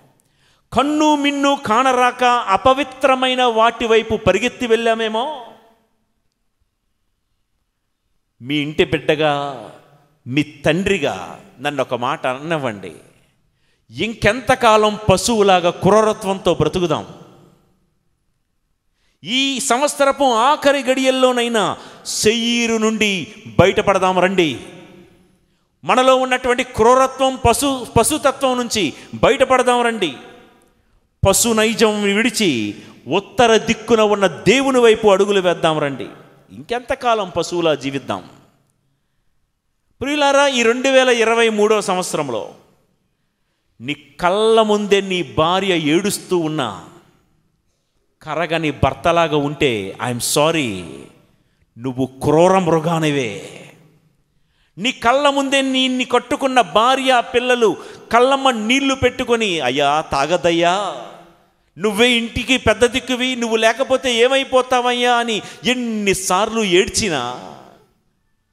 చంటి పిల్లలు కాలు పట్టుకొని డాడీ నాన్న తాగద్దు నాన్న అని మొత్తుకుంటున్నా వినిపించకుండా పట్టి పట్టనట్లుగా పంది బురదలో పొరులాడినట్లుగా వ్యసనాల్లో నువ్వు పొరులాడితే నువ్వెవరో తెలుసా?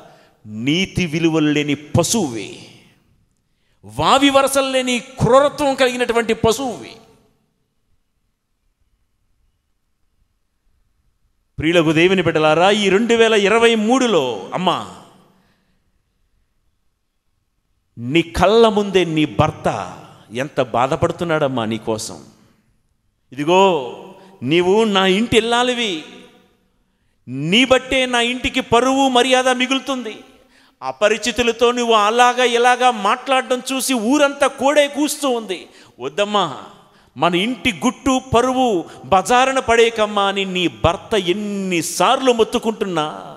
ఒక రకంగా చేతులు జోడించి కాళ్ళు పట్టుకుని మొత్తుకుంటున్నా. ఇదిగో నువ్వు ఎలాంటి ప్రవర్తన ప్రవర్తిస్తే నా పరువేం గాను?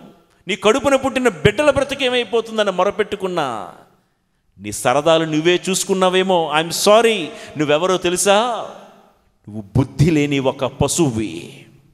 ఒక జంతువుతో సమానం అని వాక్యం అంటుంది ప్రియులకు దేవుని బిడ్డలారా. నా మనస్సు నా మాటలు మీ మనస్సు నొప్పిస్తున్నాయేమో కానీ ఈ రెండు వేల ఇరవై మూడులో దేవుడు అంటున్నాడు బయటపడదాం.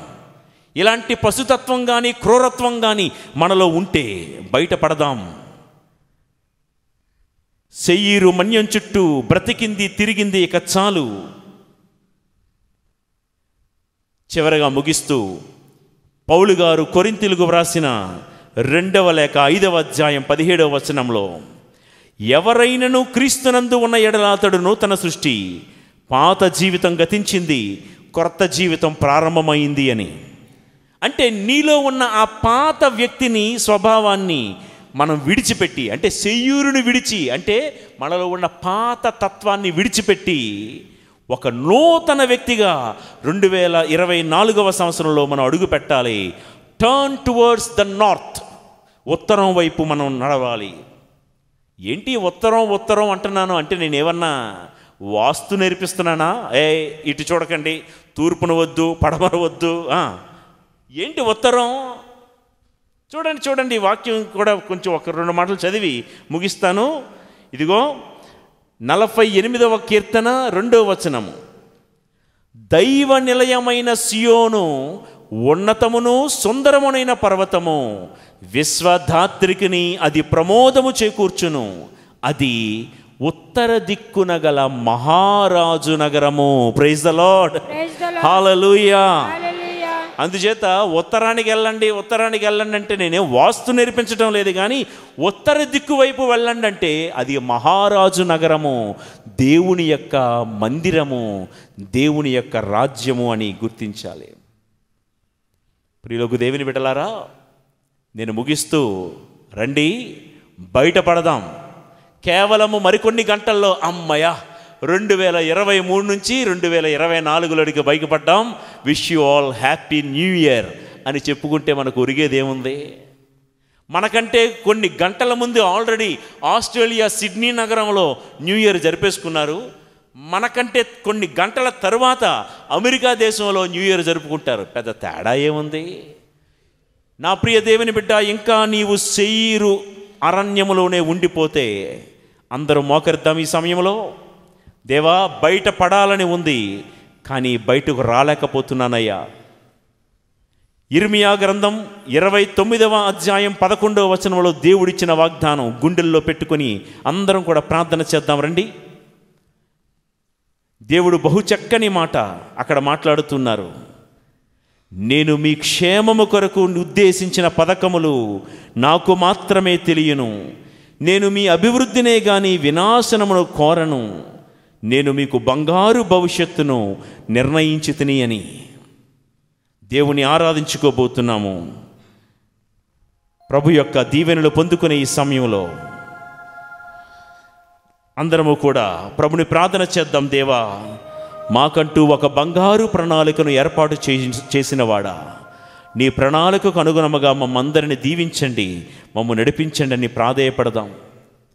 దర్శన గ్రంథం ఇరవై ఒకటవ అధ్యాయము ఐదవ వచనములో దేవుడు చెప్తున్న మాట ఏంటో తెలుసా? ఇప్పుడు అన్నింటినీ క్రొత్తగా సృజించదను అని. అవును. దేవా మా బ్రతుకులు క్రొత్తగా మార్చు ప్రభువా. ఏ పాప మాలిన్యము మా మీద మా బిడ్డల మీద పడనివ్వకుండా కాచి కాపాడయ్యా అని ప్రార్థన చేద్దాం చివరిగా. సామెతల గ్రంథం మూడవ అధ్యాయము. ఆరో వచనము రెండు చేతులు పైకెత్తి నా తర్వాత చెప్పండి. నీ కార్యములన్నిట ప్రభువును స్మరింపుము. అతడు నీ పనులను సులభతరము చేయను. ప్రార్థించండి. మన కార్యాలన్నీ దేవునికి అర్పిద్దాం. దేవా ఈ రెండు వేల ఇరవై మూడవ సంవత్సరంలో ఏ ఏ సమస్యల నుంచి అయితే బయటపడలేకపోయానో ఆ సమస్యలన్నిటి నుంచి కూడా బయటపడే కృపణ దయచేయ ప్రభువా అని దేవాది దేవుని వేడుకుంటూ అందరము కూడా శిరమ వంచుతూ ప్రభు యొక్క దీవెనలు పొందుకుందాము.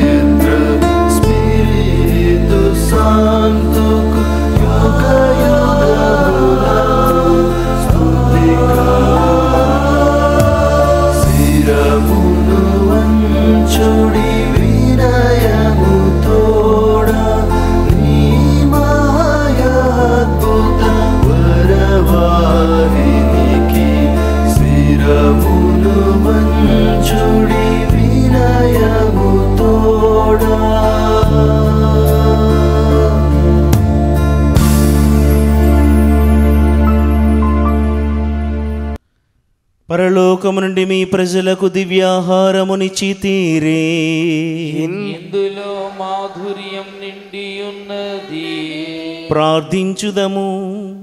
ఓ సర్వేశ్వర ఈ అద్భుత దేవద్రవ్యానుమానము ద్వారా మీ పాటుల జ్ఞాపక చిహ్నమును మాకు సంగచిత్తగించి తీరే మీ దివ్య శరీర రక్తముల పరమ రహస్యములను మేము భక్తి శ్రద్ధలతో పూజించినట్లును మా రక్షణ ఫలితములను మేము నిరంతరము చవి చూచినట్లును.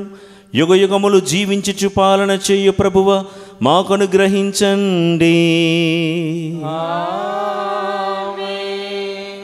అందరూ చేతులు జోడించి ఈ సంవత్సరపు చివరి రోజుల్లో చివరి గడియలో ఉన్నాము. యేసు నామ స్మరణ చేసుకుంటూ దేవుని యొక్క దీవెనలు మనం అందరం కూడా పొందుకుందాం. యేసునామం శక్తిగల నామం బలమైన నామం గెలిపించే నామం. ఆ ప్రభు నామాన్ని ఉచ్చరిస్తూ దేవుని యొక్క దీవెనలు అందరము కూడా పొందుకుందాం.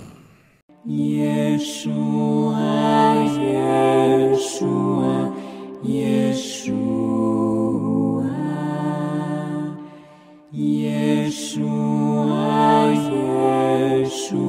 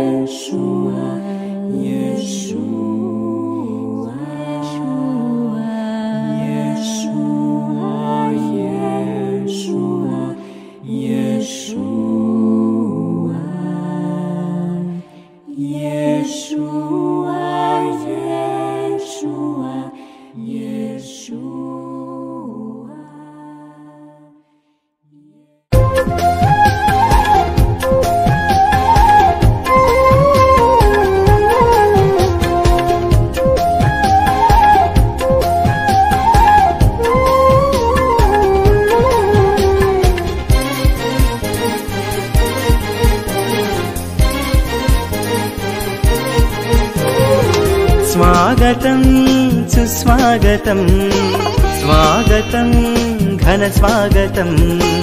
స్వాగతం సుస్వాగతం. స్వాగతం ఘన స్వాగతం. ఆలయమున చేరినాము నిన్ను ధ్యానించగా.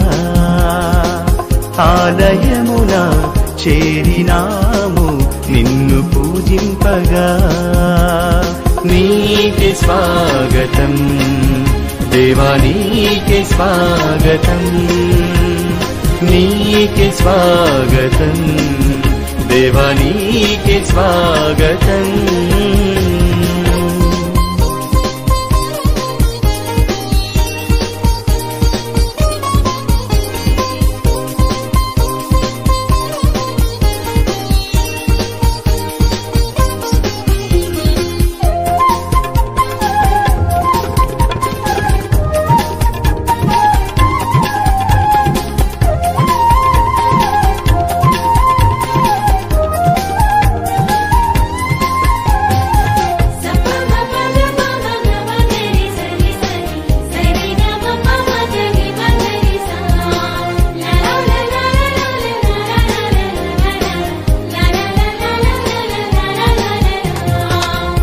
మధురమైన నీదు నామం నేను పొగడెదను. మమతలొలికే నీదు రూపం నేను కొనిచెదను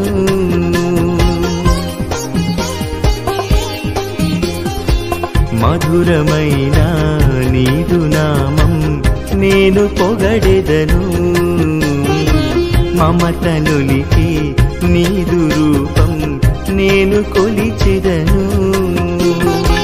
శాంతి రూపమాయేసువా సన్నుతింతును నీ నామము. శాంతి రూపమాయేసువా సన్నుతింతును నీ నామము. నీకి స్వాగతం దేవానీకి స్వాగతం. నీకి స్వాగతం स्वागतन्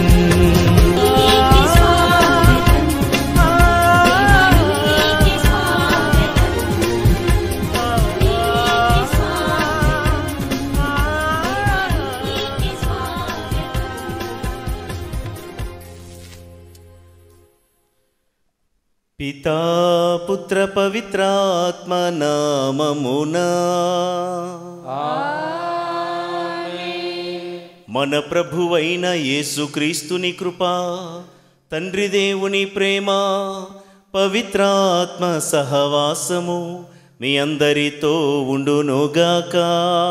మీ ఆత్మతోనూ ఉండునుగాక. రెండు వేల ఇరవై మూడవ సంవత్సరానికి స్వస్తి పలుకుతూ నూతన సంవత్సర ఆరంభానికి ఎదురు చూస్తున్నటువంటి ఈ గడియల్లో ఈ దివ్య బలి పూజ ద్వారా దేవుడికి వందనాలు స్తోత్రాలు మరొక్కసారి సమర్పించుకుంటూ ఈ రెండు వేల ఇరవై మూడో సంవత్సరములో దేవుడు మనకు చేసిన ఎన్నో మేలులు. నూట పదహారవ కీర్తన ఎనిమిదవ వచనములో దేవుడికి వందనాలు అర్పించాము. దేవా మృత్యువాత పడనయ్యకుండా నన్ను కాపాడావు. నా కన్నీటిని తుడిచావు. నీకు వందనాలయ్యా నీకు స్తోత్రాలయ్యా. నేను జారిపడి పోనివ్వకుండా నన్ను కాపాడావా అని నీకు వందనాలు అని ఒకటా రెండా ఎన్నో మేలులు మనం పొందాము.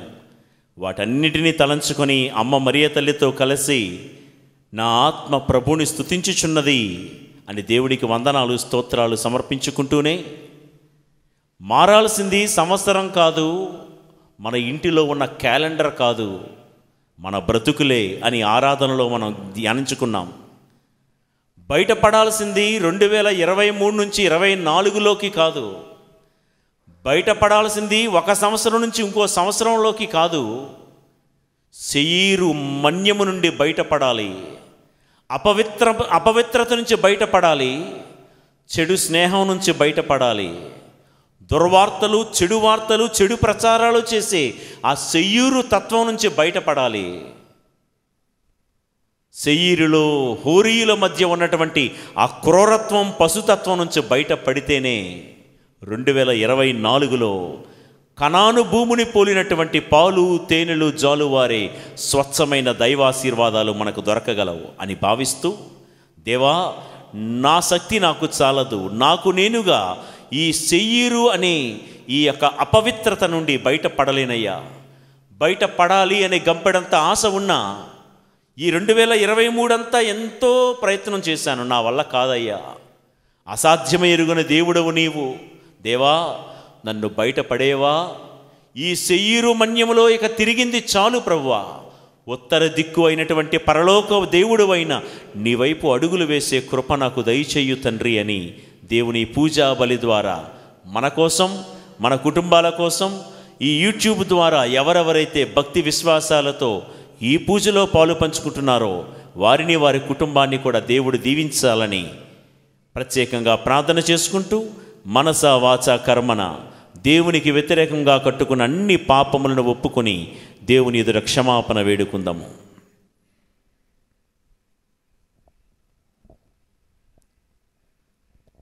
సర్వశక్తిగల సర్వేశ్వరుని చెంతను సహోదరి సహోదరులారా మీ చింతను నా పాపములు ఒప్పుకొనుచున్నాను.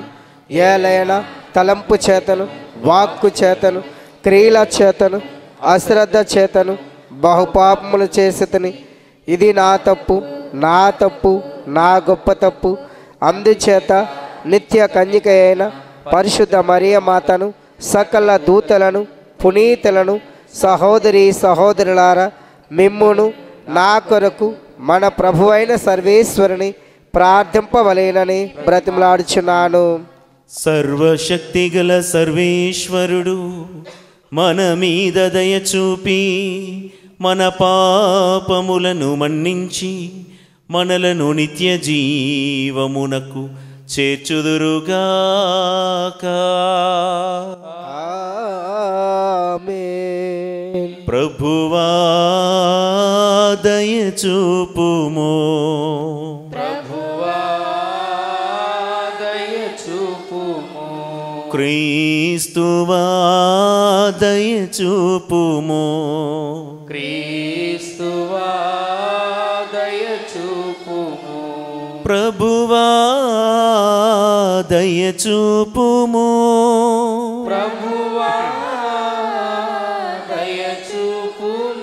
Daya chupumo, mapai daya chupumo. Daya chupumo, mapai.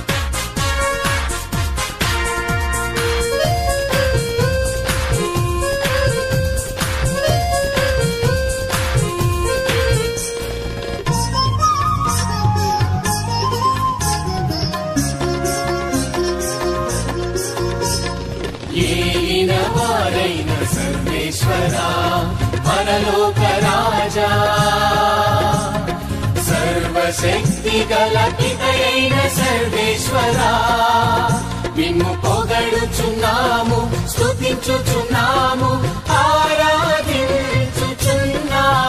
నిన్ను పొగడుచున్నాము స్తుతించుచున్నాము ఆరాధించుచున్నాము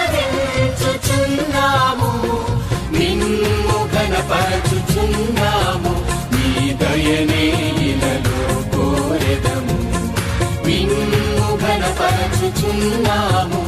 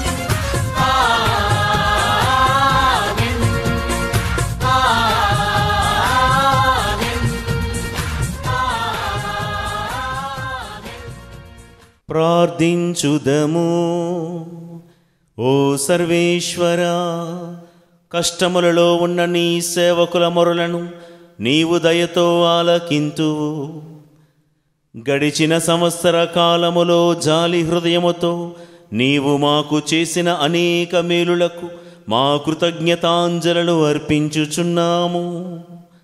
నీ వరానుగ్రహములను పరంపరగా పొందిన మేము నిన్ను నిరతము ఆనందముతో సేవించినట్లు అనుగ్రహింపుము.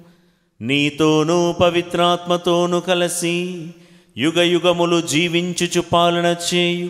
నీ కుమారుడును మా ప్రభువైన క్రీస్తు ద్వారా ఈ మనవి చేయుచున్నాము. ఆమేన్.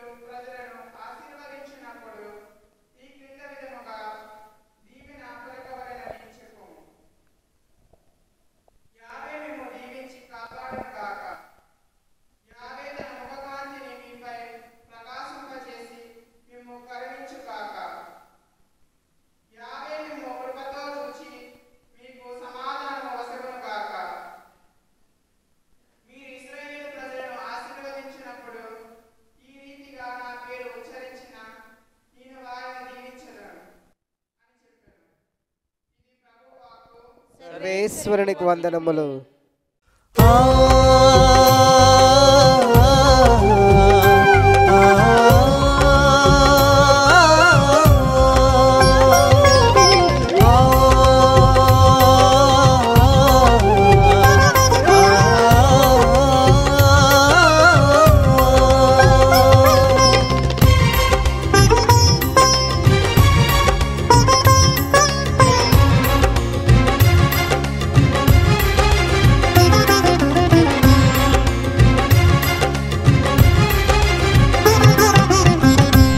ఆనతిమ్ము నా ప్రభువా. నీ స్వరము నేను ఆలించుచున్నాను. ఆనతిమ్ము నా ప్రభువా. నీ స్వరము నేను ఆలించుచున్నాను. నీ చిత్తం పాటింపవచ్చాను. నీతోనే ఉండుట పరమానందం. చిత్తం పాటింపవచ్చాను. నీతోనే ఉండుట పరమానందం. ఏసయ్యా ఏసయ్యా ఏసయ్యా ఏసయ్యా ఏసయ్యా ఏసయ్యా ఏసయ్యా ఏసయ్యా. ఏసయ్యా ఏసయ్యా ఏసయ్యా ఏసయ్యా ఏసయ్యా ఏసయ్యా ఏసయ్యా నా ప్రభువా నీ స్వరము నేను ఆలించుచున్నాను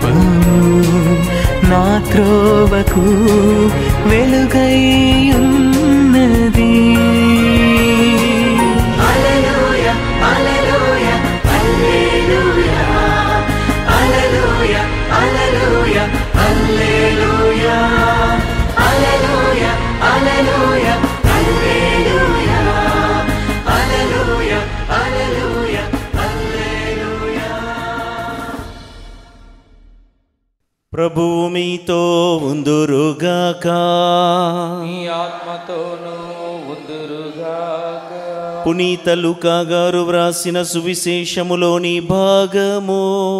ప్రభువా మీకు మహిమా కలుగునుగాక.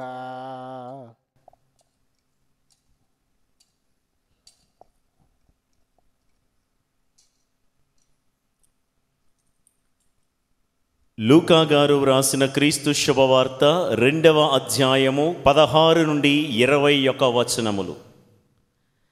వారు వెంటనే వెళ్ళి మరియమ్మను యోసేపును తొట్టిలో పరుండియున్న శిశువును కనుగొనిరి.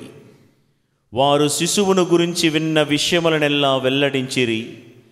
గొర్రెల కాపరులు వెల్లడించిన విషయములను వినిన వారందరూ మిక్కిలి ఆశ్చర్యపడిరి. కానీ మరియమ్మ అంతయు తన మనస్సున పదిలపరుచుకొని మననము చేయుచుండెను. గొర్రెల కాపరులు తమతో చెప్పబడినట్లు తాము వినిన వానిని చూచిన వానిని గురించి దేవుని వైభవమును శ్లాఘించుచూ తిరిగిపోయిరి. ఎనిమిది దినములు గడిచిన పిమ్మట శిశువునకు సున్నతి చేసి ఆ బాలుడు గర్భమునందు పడక పూర్వము దేవదూత సూచించినట్లు యేసు అని పేరు పెట్టిరి. ఇది క్రీస్తు సువిశేషము. క్రీస్తు ఆమె స్థుతి కలుగునుగాక. ఈ సువిశేష భాగం బట్టి మన పాపములన్నీ పరిహరింపబడినుగాక. ఆమేన్. ప్రార్థించుదము. పరిశుద్ధుడా దయగల దేవా కృపా సత్య సంపూర్ణుడా మరికొద్ది క్షణాలలో ఈ సంవత్సరానికి స్వస్తి పలికి. ఎన్నో ఆశలతో మా పాత స్వభావాన్ని విడిచిపెట్టి నూతనమును స్థిరమైన మనస్సుతో క్రొత్త సంవత్సరాన్ని ఆరంభించాలని ఆశపడుతున్న మమ్మందరిని దీవించండి ప్రభువ. నీ ఆరాధనలో పాలు పంచుకొని నీ వాక్యాన్ని విన్న మేము కూడా శయీరు మన్యము నుండి బయటపడే అనుగ్రహాన్ని మాకు దయచేయు. సంఖ్యాకాండములో ఈరోజు మొదటి పాఠములో నీవు నుడివినటువంటి ఆశీర్వచనాలు మా ఇంటి గుమ్మములోనికి రానివ్వండి ప్రభువ. గడిచిన సంవత్సర కాలమంతా శయీరు మనస్తత్వము చుట్టూ మేము తిరుగాడుతూ నీ దీవెనలు దూరం చేసుకున్నాము వాయిదా వేసుకున్నాము. అలా కాకుండా శయ్యూరు తత్వాల నుంచి మేమందరము బయటపడి వ్యసనాల నుండి అపవిత్రతల నుండి చెడు స్నేహాల నుండి దుర్వార్తల నుండి క్రూరత్వం నుండి మేమందరము బయటపడి నీవు మా కోసము నిర్దేశించినటువంటి పవిత్రమైన మహానగరము కానాను దేశము అదే పరలోక రాజ్యము చేరు అనుగ్రహము ఈ నూతన సంవత్సరములో మా అందరకు ప్రసాదించమని దేవా ఈ పూజలో పాలు పంచుకుంటున్న మమ్ములను మా కుటుంబాలను మా ప్రార్థన సహాయము కోరుతున్న వారందరినీ కూడా పేరు పేరున దీవించమని ఈ నూతన సంవత్సరములో ఇదిగో మీకోసము క్రొత్తవి సిద్ధముగా ఉన్నవని నీవిచ్చిన వాగ్దానం ప్రకారముగా దేవా నీవు తలపెట్టిన కార్యములు మా ఎందు నెరవేర్చుమని మా నాథుడైన యేసు పవిత్ర నామములో ఈ ప్రార్థన చేయుచున్నాము తండ్రి. ఆమెన్.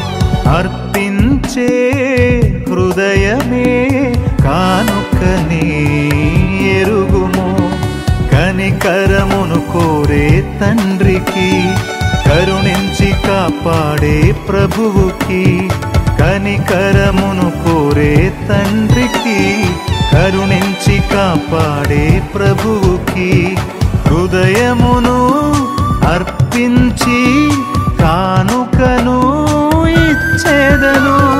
హృదయమును అర్పించి కానుకను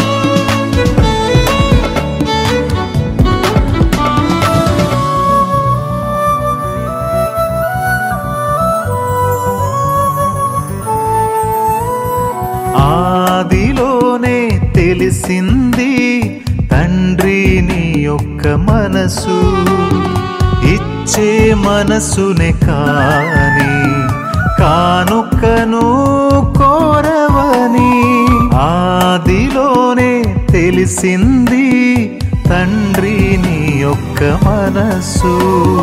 ఇచ్చే మనసుని కాని కానుకను కోరవని కయ్యను అర్పించే అర్పణ కాదన్నావు నీకిచ్చినా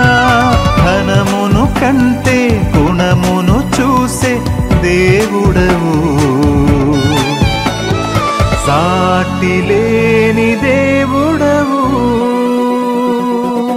అర్పణగా హృదయమును దేవునికి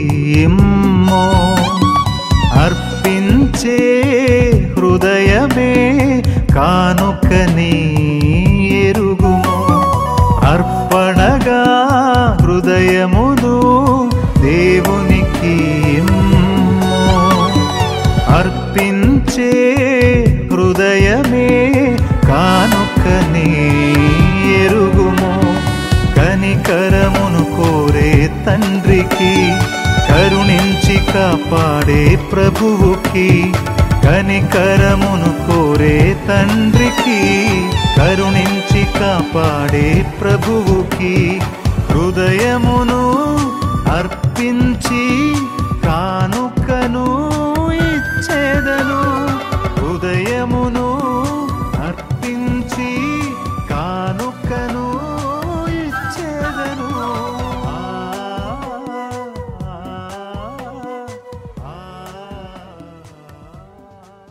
సహోదరి సహోదరులారా మీరు నేను కలిసి ప్రేమతో అర్పించి బలి ఆ తండ్రి అయిన దేవునకు అంగీకార యోగ్యమగినట్ల ప్రార్థించండి. ప్రభు తన నాంసుత మహిమల కొరకును మన ప్రయోజనము కొరకును తన పవిత్ర శ్రీస ప్రయోజనము కొరకును నీ కర్మల ద్వారా ఈ బలిని స్వీకరించునుగాక ఓ ప్రభువా మరణము నుండి సకల కీడుల నుండి రక్షించుటకు నీవు ఎంతో ప్రేమతో నీ కుమారుని మా కొసగితివి గడిచిన సంవత్సర కాలమంతా అనుదిన సంకటముల నుండి మమ్ము కాపాడిన నీకు కృతజ్ఞతతో అర్పించు ఈ బలిని సాదరముగా స్వీకరించి రాబోయే నూతన సంవత్సరమంతా కూడా మమ్ము నీ కనుసన్నలలో భద్రముగా కాచి కాపాడుకోమని బ్రతిమాలుచున్నాము.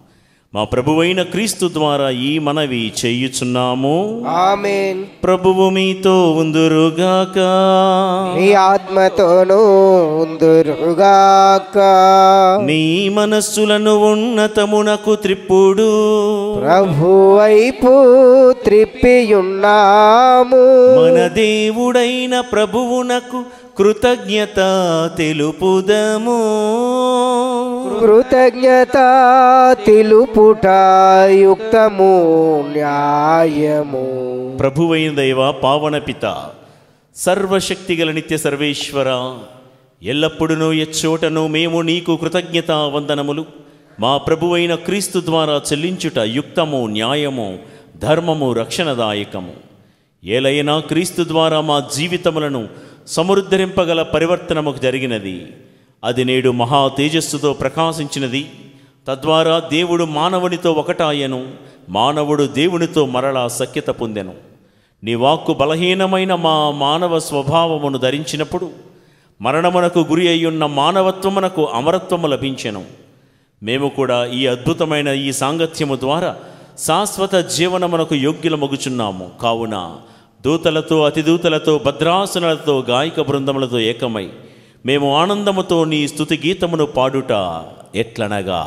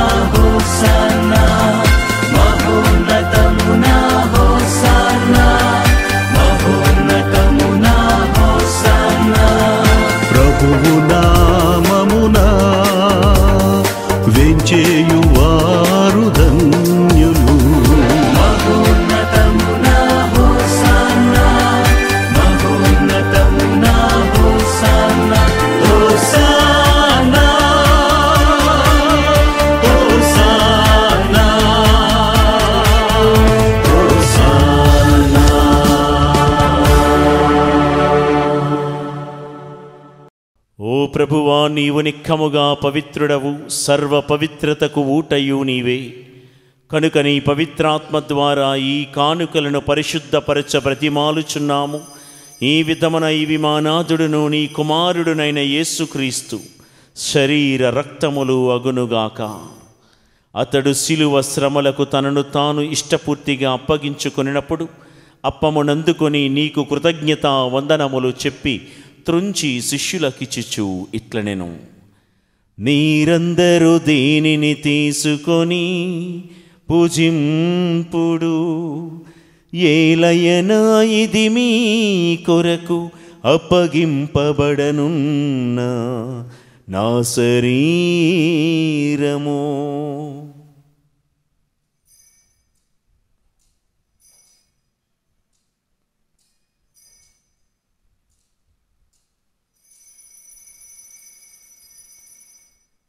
ఆ విధముగని భోజనానంతరము పాత్రమునందుకొని మరలా కృతజ్ఞత వందనములు చెప్పి స్తుతించి శిష్యులకిచ్చుచు ఇట్లనెను.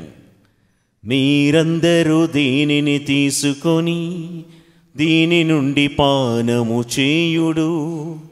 ఏలయన ఇది నూతన నిత్య నిబంధన యొక్క నా రక్తపు పాత్రము.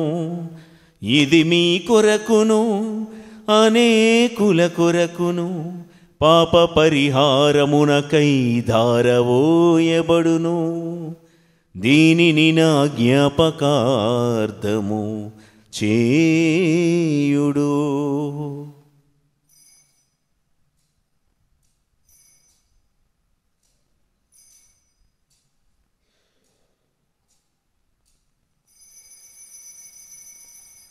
ఇది విశ్వాస రహస్యము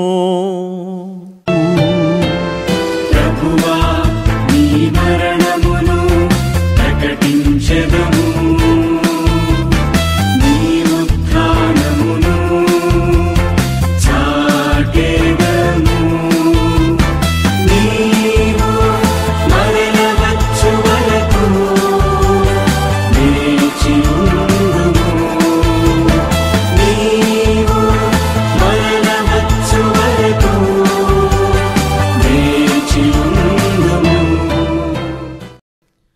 కనుక తండ్రి క్రీస్తు మరణమును ఉత్థానమును స్మరించుచు జీవమునసుకు ఎప్పమును రక్షణ పాత్రమును మీకు సమర్పించుచున్నాము.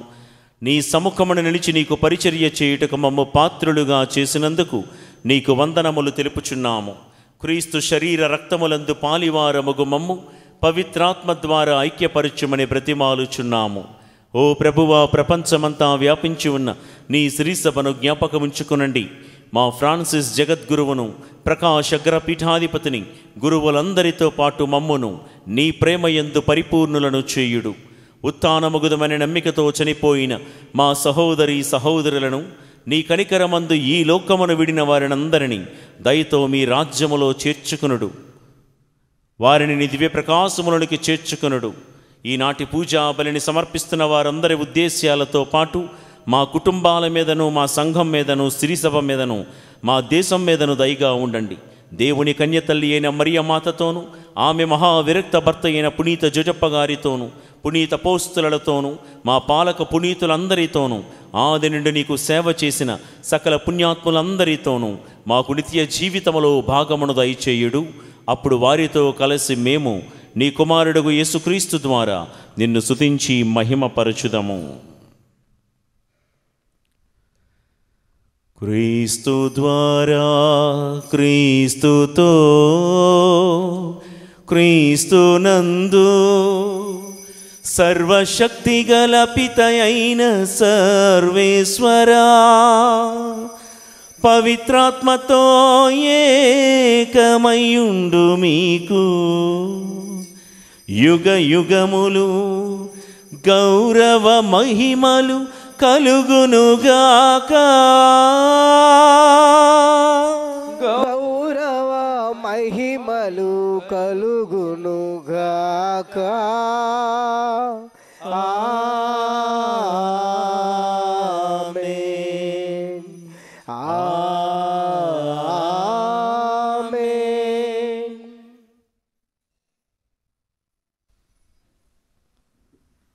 ప్రియులారా సమయం పదకొండు గంటల యాభై తొమ్మిది నిమిషాలు. సరిగ్గా ఇదే గడియలో బయటపడే సమయం ఇది. రెండు వేల ఇరవై మూడు నుంచి ఇరవై నాలుగులోకే కాదు ఈ పాత సంవత్సరము ఈ పాత స్వభావాన్ని విడిచిపెట్టి నూతన స్వభావంలోనికి అడుగుపెట్టే కృపద ఇచ్చేయమని చేతులు జోడించి ఈ నూతన సంవత్సరము వచ్చే వేళ ప్రభు మందిరములో ఉండుట ఎంత మనోహరము ఎంత మధురము. ప్రభువు ఇప్పుడిప్పుడే అద్భుతాన్ని చేశారు. ఈ అప్పరసాలను తన శరీర రక్తాలుగా మార్చే ఈ అద్భుత గడియలో ఈ నూతన సంవత్సరములో మొట్టమొదటిగా ఈ పన్నెండు గంటలకు ప్రభు నేర్పిన మాటలలో ప్రార్థన చేసుకోబోతున్నాము ఒక క్షణం. సరిగ్గా పన్నెండు గంటలకు మనం పరలోక ప్రార్థనతో ఈ నూతన సంవత్సరాన్ని ప్రారంభిద్దాం. మౌనముగా దేవుణ్ణి ప్రార్థన చేయండి. ఈ క్రొత్త సంవత్సరము మన జీవితాల్లో మార్పు తేవాలని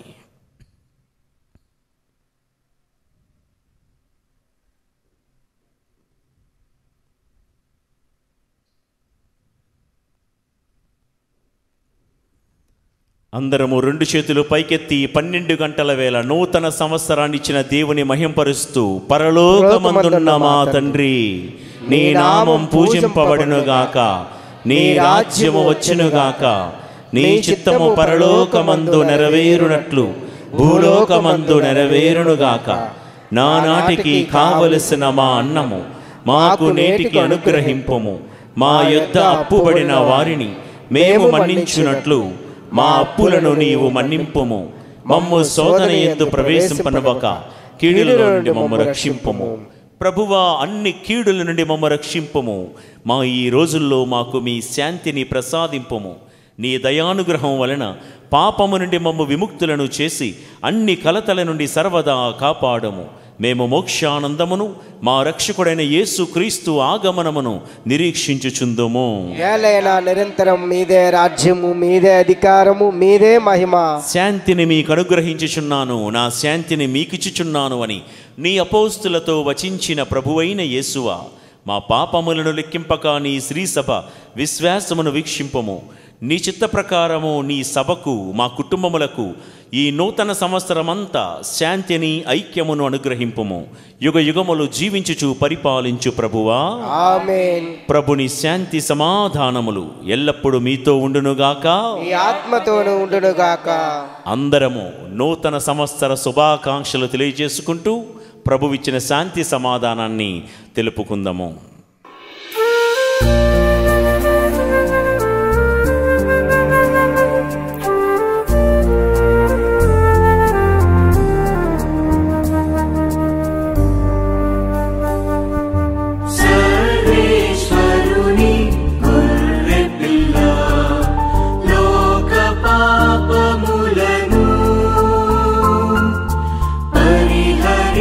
పరిహరించు ప్రభువా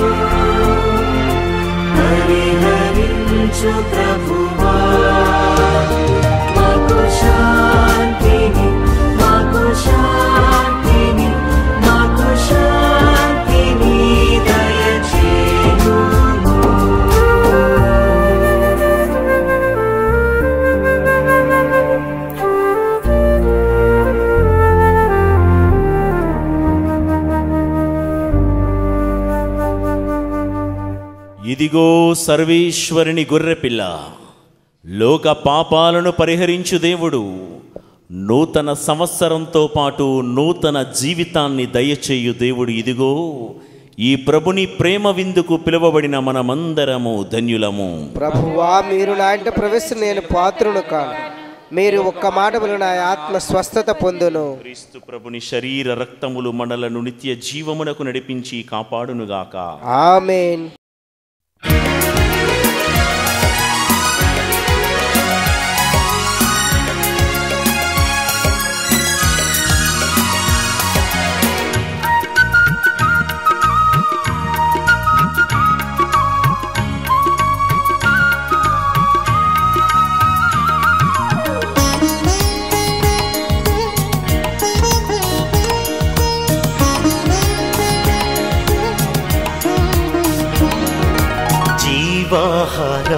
దేవుని దివ్యాహారం మధురాహారం ప్రభుని ప్రేమాహారం జీవాహారం దేవుని దివ్యాహారం మధురాహారం ప్రభుని ప్రేమాహారం.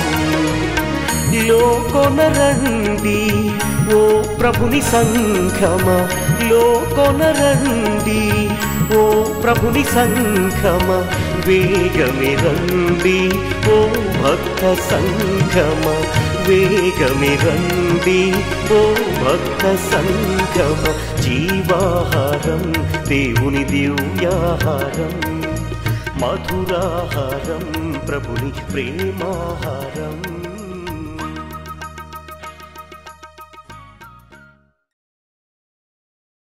ప్రార్థించుదము. సర్వశక్తిగలవో సర్వేశ్వర ఈ జీవాహారము ద్వారా నీ సేవకులను పాప బంధనముల నుండి విడిపింపవలనని నిశ్చయించిదివి కరుణతో నీ ప్రజల శక్తిని పునరుద్ధరించుమని అర్థించుచున్నాము. నీ ఆదరణతో ఎట్టి ఆటంకము లేకుండా మేము ఆశించు నిత్య మహిమ వైపు ఈ నూతన సంవత్సరమంతా పయనింప కరుణింపుము. మా ప్రభువైన క్రీస్తు ద్వారా ఈ మనవి చేయుచున్నాము. దైవాశీర్వాదములకు మీ శిరములు వంచి ప్రార్థించండి. ప్రభువు మీతో ఉందురుగాక. మీ ఆత్మతోనూ ఉందురుగాక. సకల వరముల ప్రధాతయును నిధియునైన సర్వేశ్వరుడు ఈ క్రొత్త సంవత్సరములో మీకు దైవానుగ్రహమును దీవెనలను సమృద్ధిగా దయచేసి ఈ నూతన సంవత్సరమంతయు మిమ్ము ఆపదల నుండి కాపాడుదురుగాక.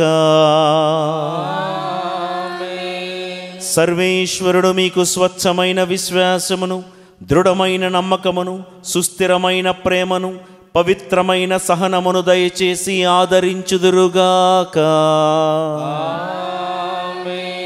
మీ రోజులను క్రియలను ప్రభువు తన శాంతితో నింపునుగాక. ప్రభువు ఇప్పుడును ఎల్లప్పుడును మీ ప్రార్థనలను ఆలకించి మిమ్ము సంతోషముతో శాశ్వత జీవనమునకు నడిపించునుగాక. సర్వశక్తిగల సర్వేశ్వరుడు పితా పుత్ర పవిత్రాత్మదేవుని దీవెనలు మీ ఎందును మీ కుటుంబముల ఎందును శాంతి సమాధానములు కురిపించి సదాకాలము మేము కాచి కాపాడుదురుగాక. ఈ దైవారాధన సమాప్తమైనది. సమాధానముతో వెళ్ళి క్రీస్తు ప్రేమలో జీవించుదము. సర్వేశ్వరికి వందనములు. ప్రియులారా ఈ ఆరాధనలో పాలు పంచుకున్న మీకు మీ కుటుంబములకు ప్రత్యేకంగా స్ట్రీమ్స్ ఆఫ్ గ్రేస్ అనే యూట్యూబ్ ఛానల్ ద్వారా వీక్షిస్తున్నటువంటి విశ్వాసులు భక్తులైన మీ అందరికీ ప్రభు యేసు నామములో నూతన సంవత్సర శుభాకాంక్షలు మీ అందరికీ కూడా తెలియజేస్తూ ఉన్నాను. God bless you wish you all happy new year. ఈ నూతన సంవత్సరం అంతా దేవాది దేవుడు మేము చల్లగా చూడాలి. ఈ బలిపీఠం మీద నేను అర్పించే ప్రతి పూజా బలి ద్వారా మిమ్మల్ని జ్ఞాపకం చేసుకొని ఎల్లప్పుడూ కూడా మీకోసం ప్రార్థన చేస్తానని మీకు మాట ఇస్తూ మీరు కూడా మీ దైనందిన జీవితంలో నా కోసం మాలాంటి సేవకులందరి కోసం కూడా ప్రార్థించమని మీ అందరిని కూడా ప్రేమతో కోరుతూ ఉన్నాను. థ్యాంక్ యూ వెరీ మచ్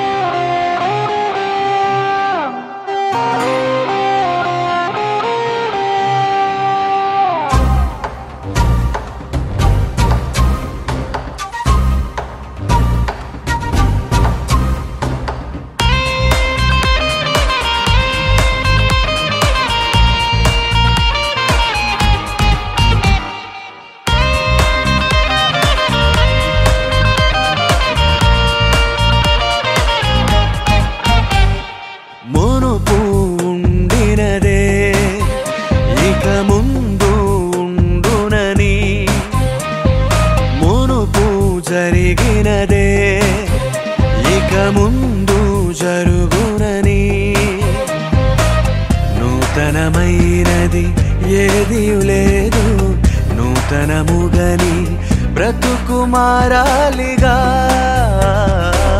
నూతనమైనది ఏది లేదు.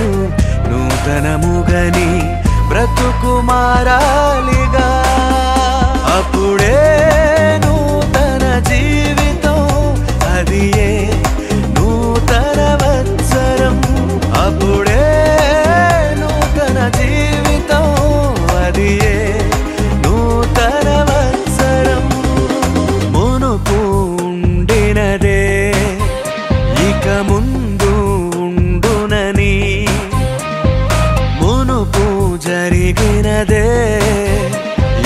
ఇక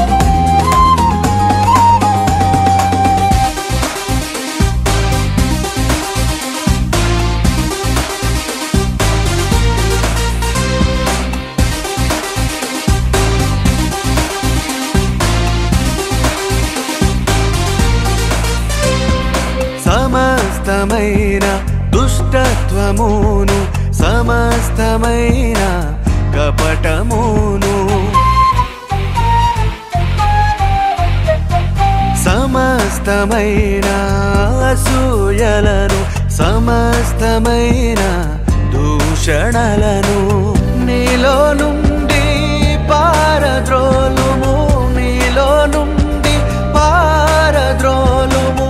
క్రొత్తగా నీవు మార్పు చందుము క్రొత్తగా నీవు మార్పు చందుము. ఇది ఏ మంచి తరుణం? క్షణ దినము. ఇది ఏ మంచి తరుణం.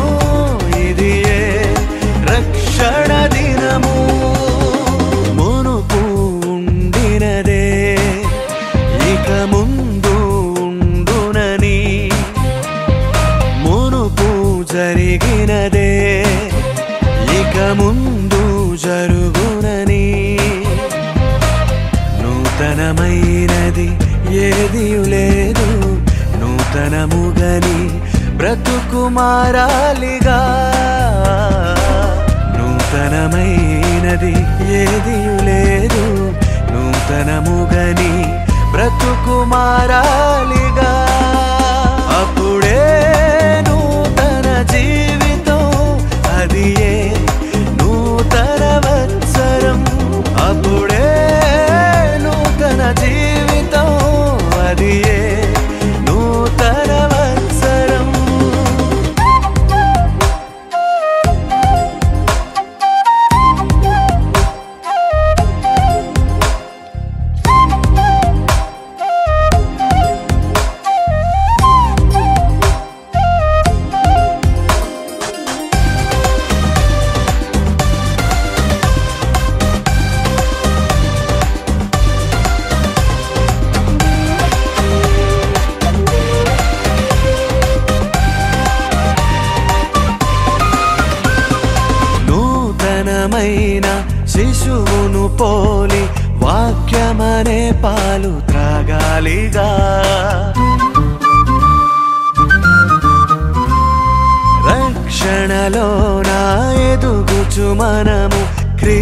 యేసు బాటలో నడవాలిగా. నీ గతం విడనాడుము మీ గతం విడనాడుము. నీ జీవితం మార్చుకొనుము నీ జీవితం మార్చుకొనుము.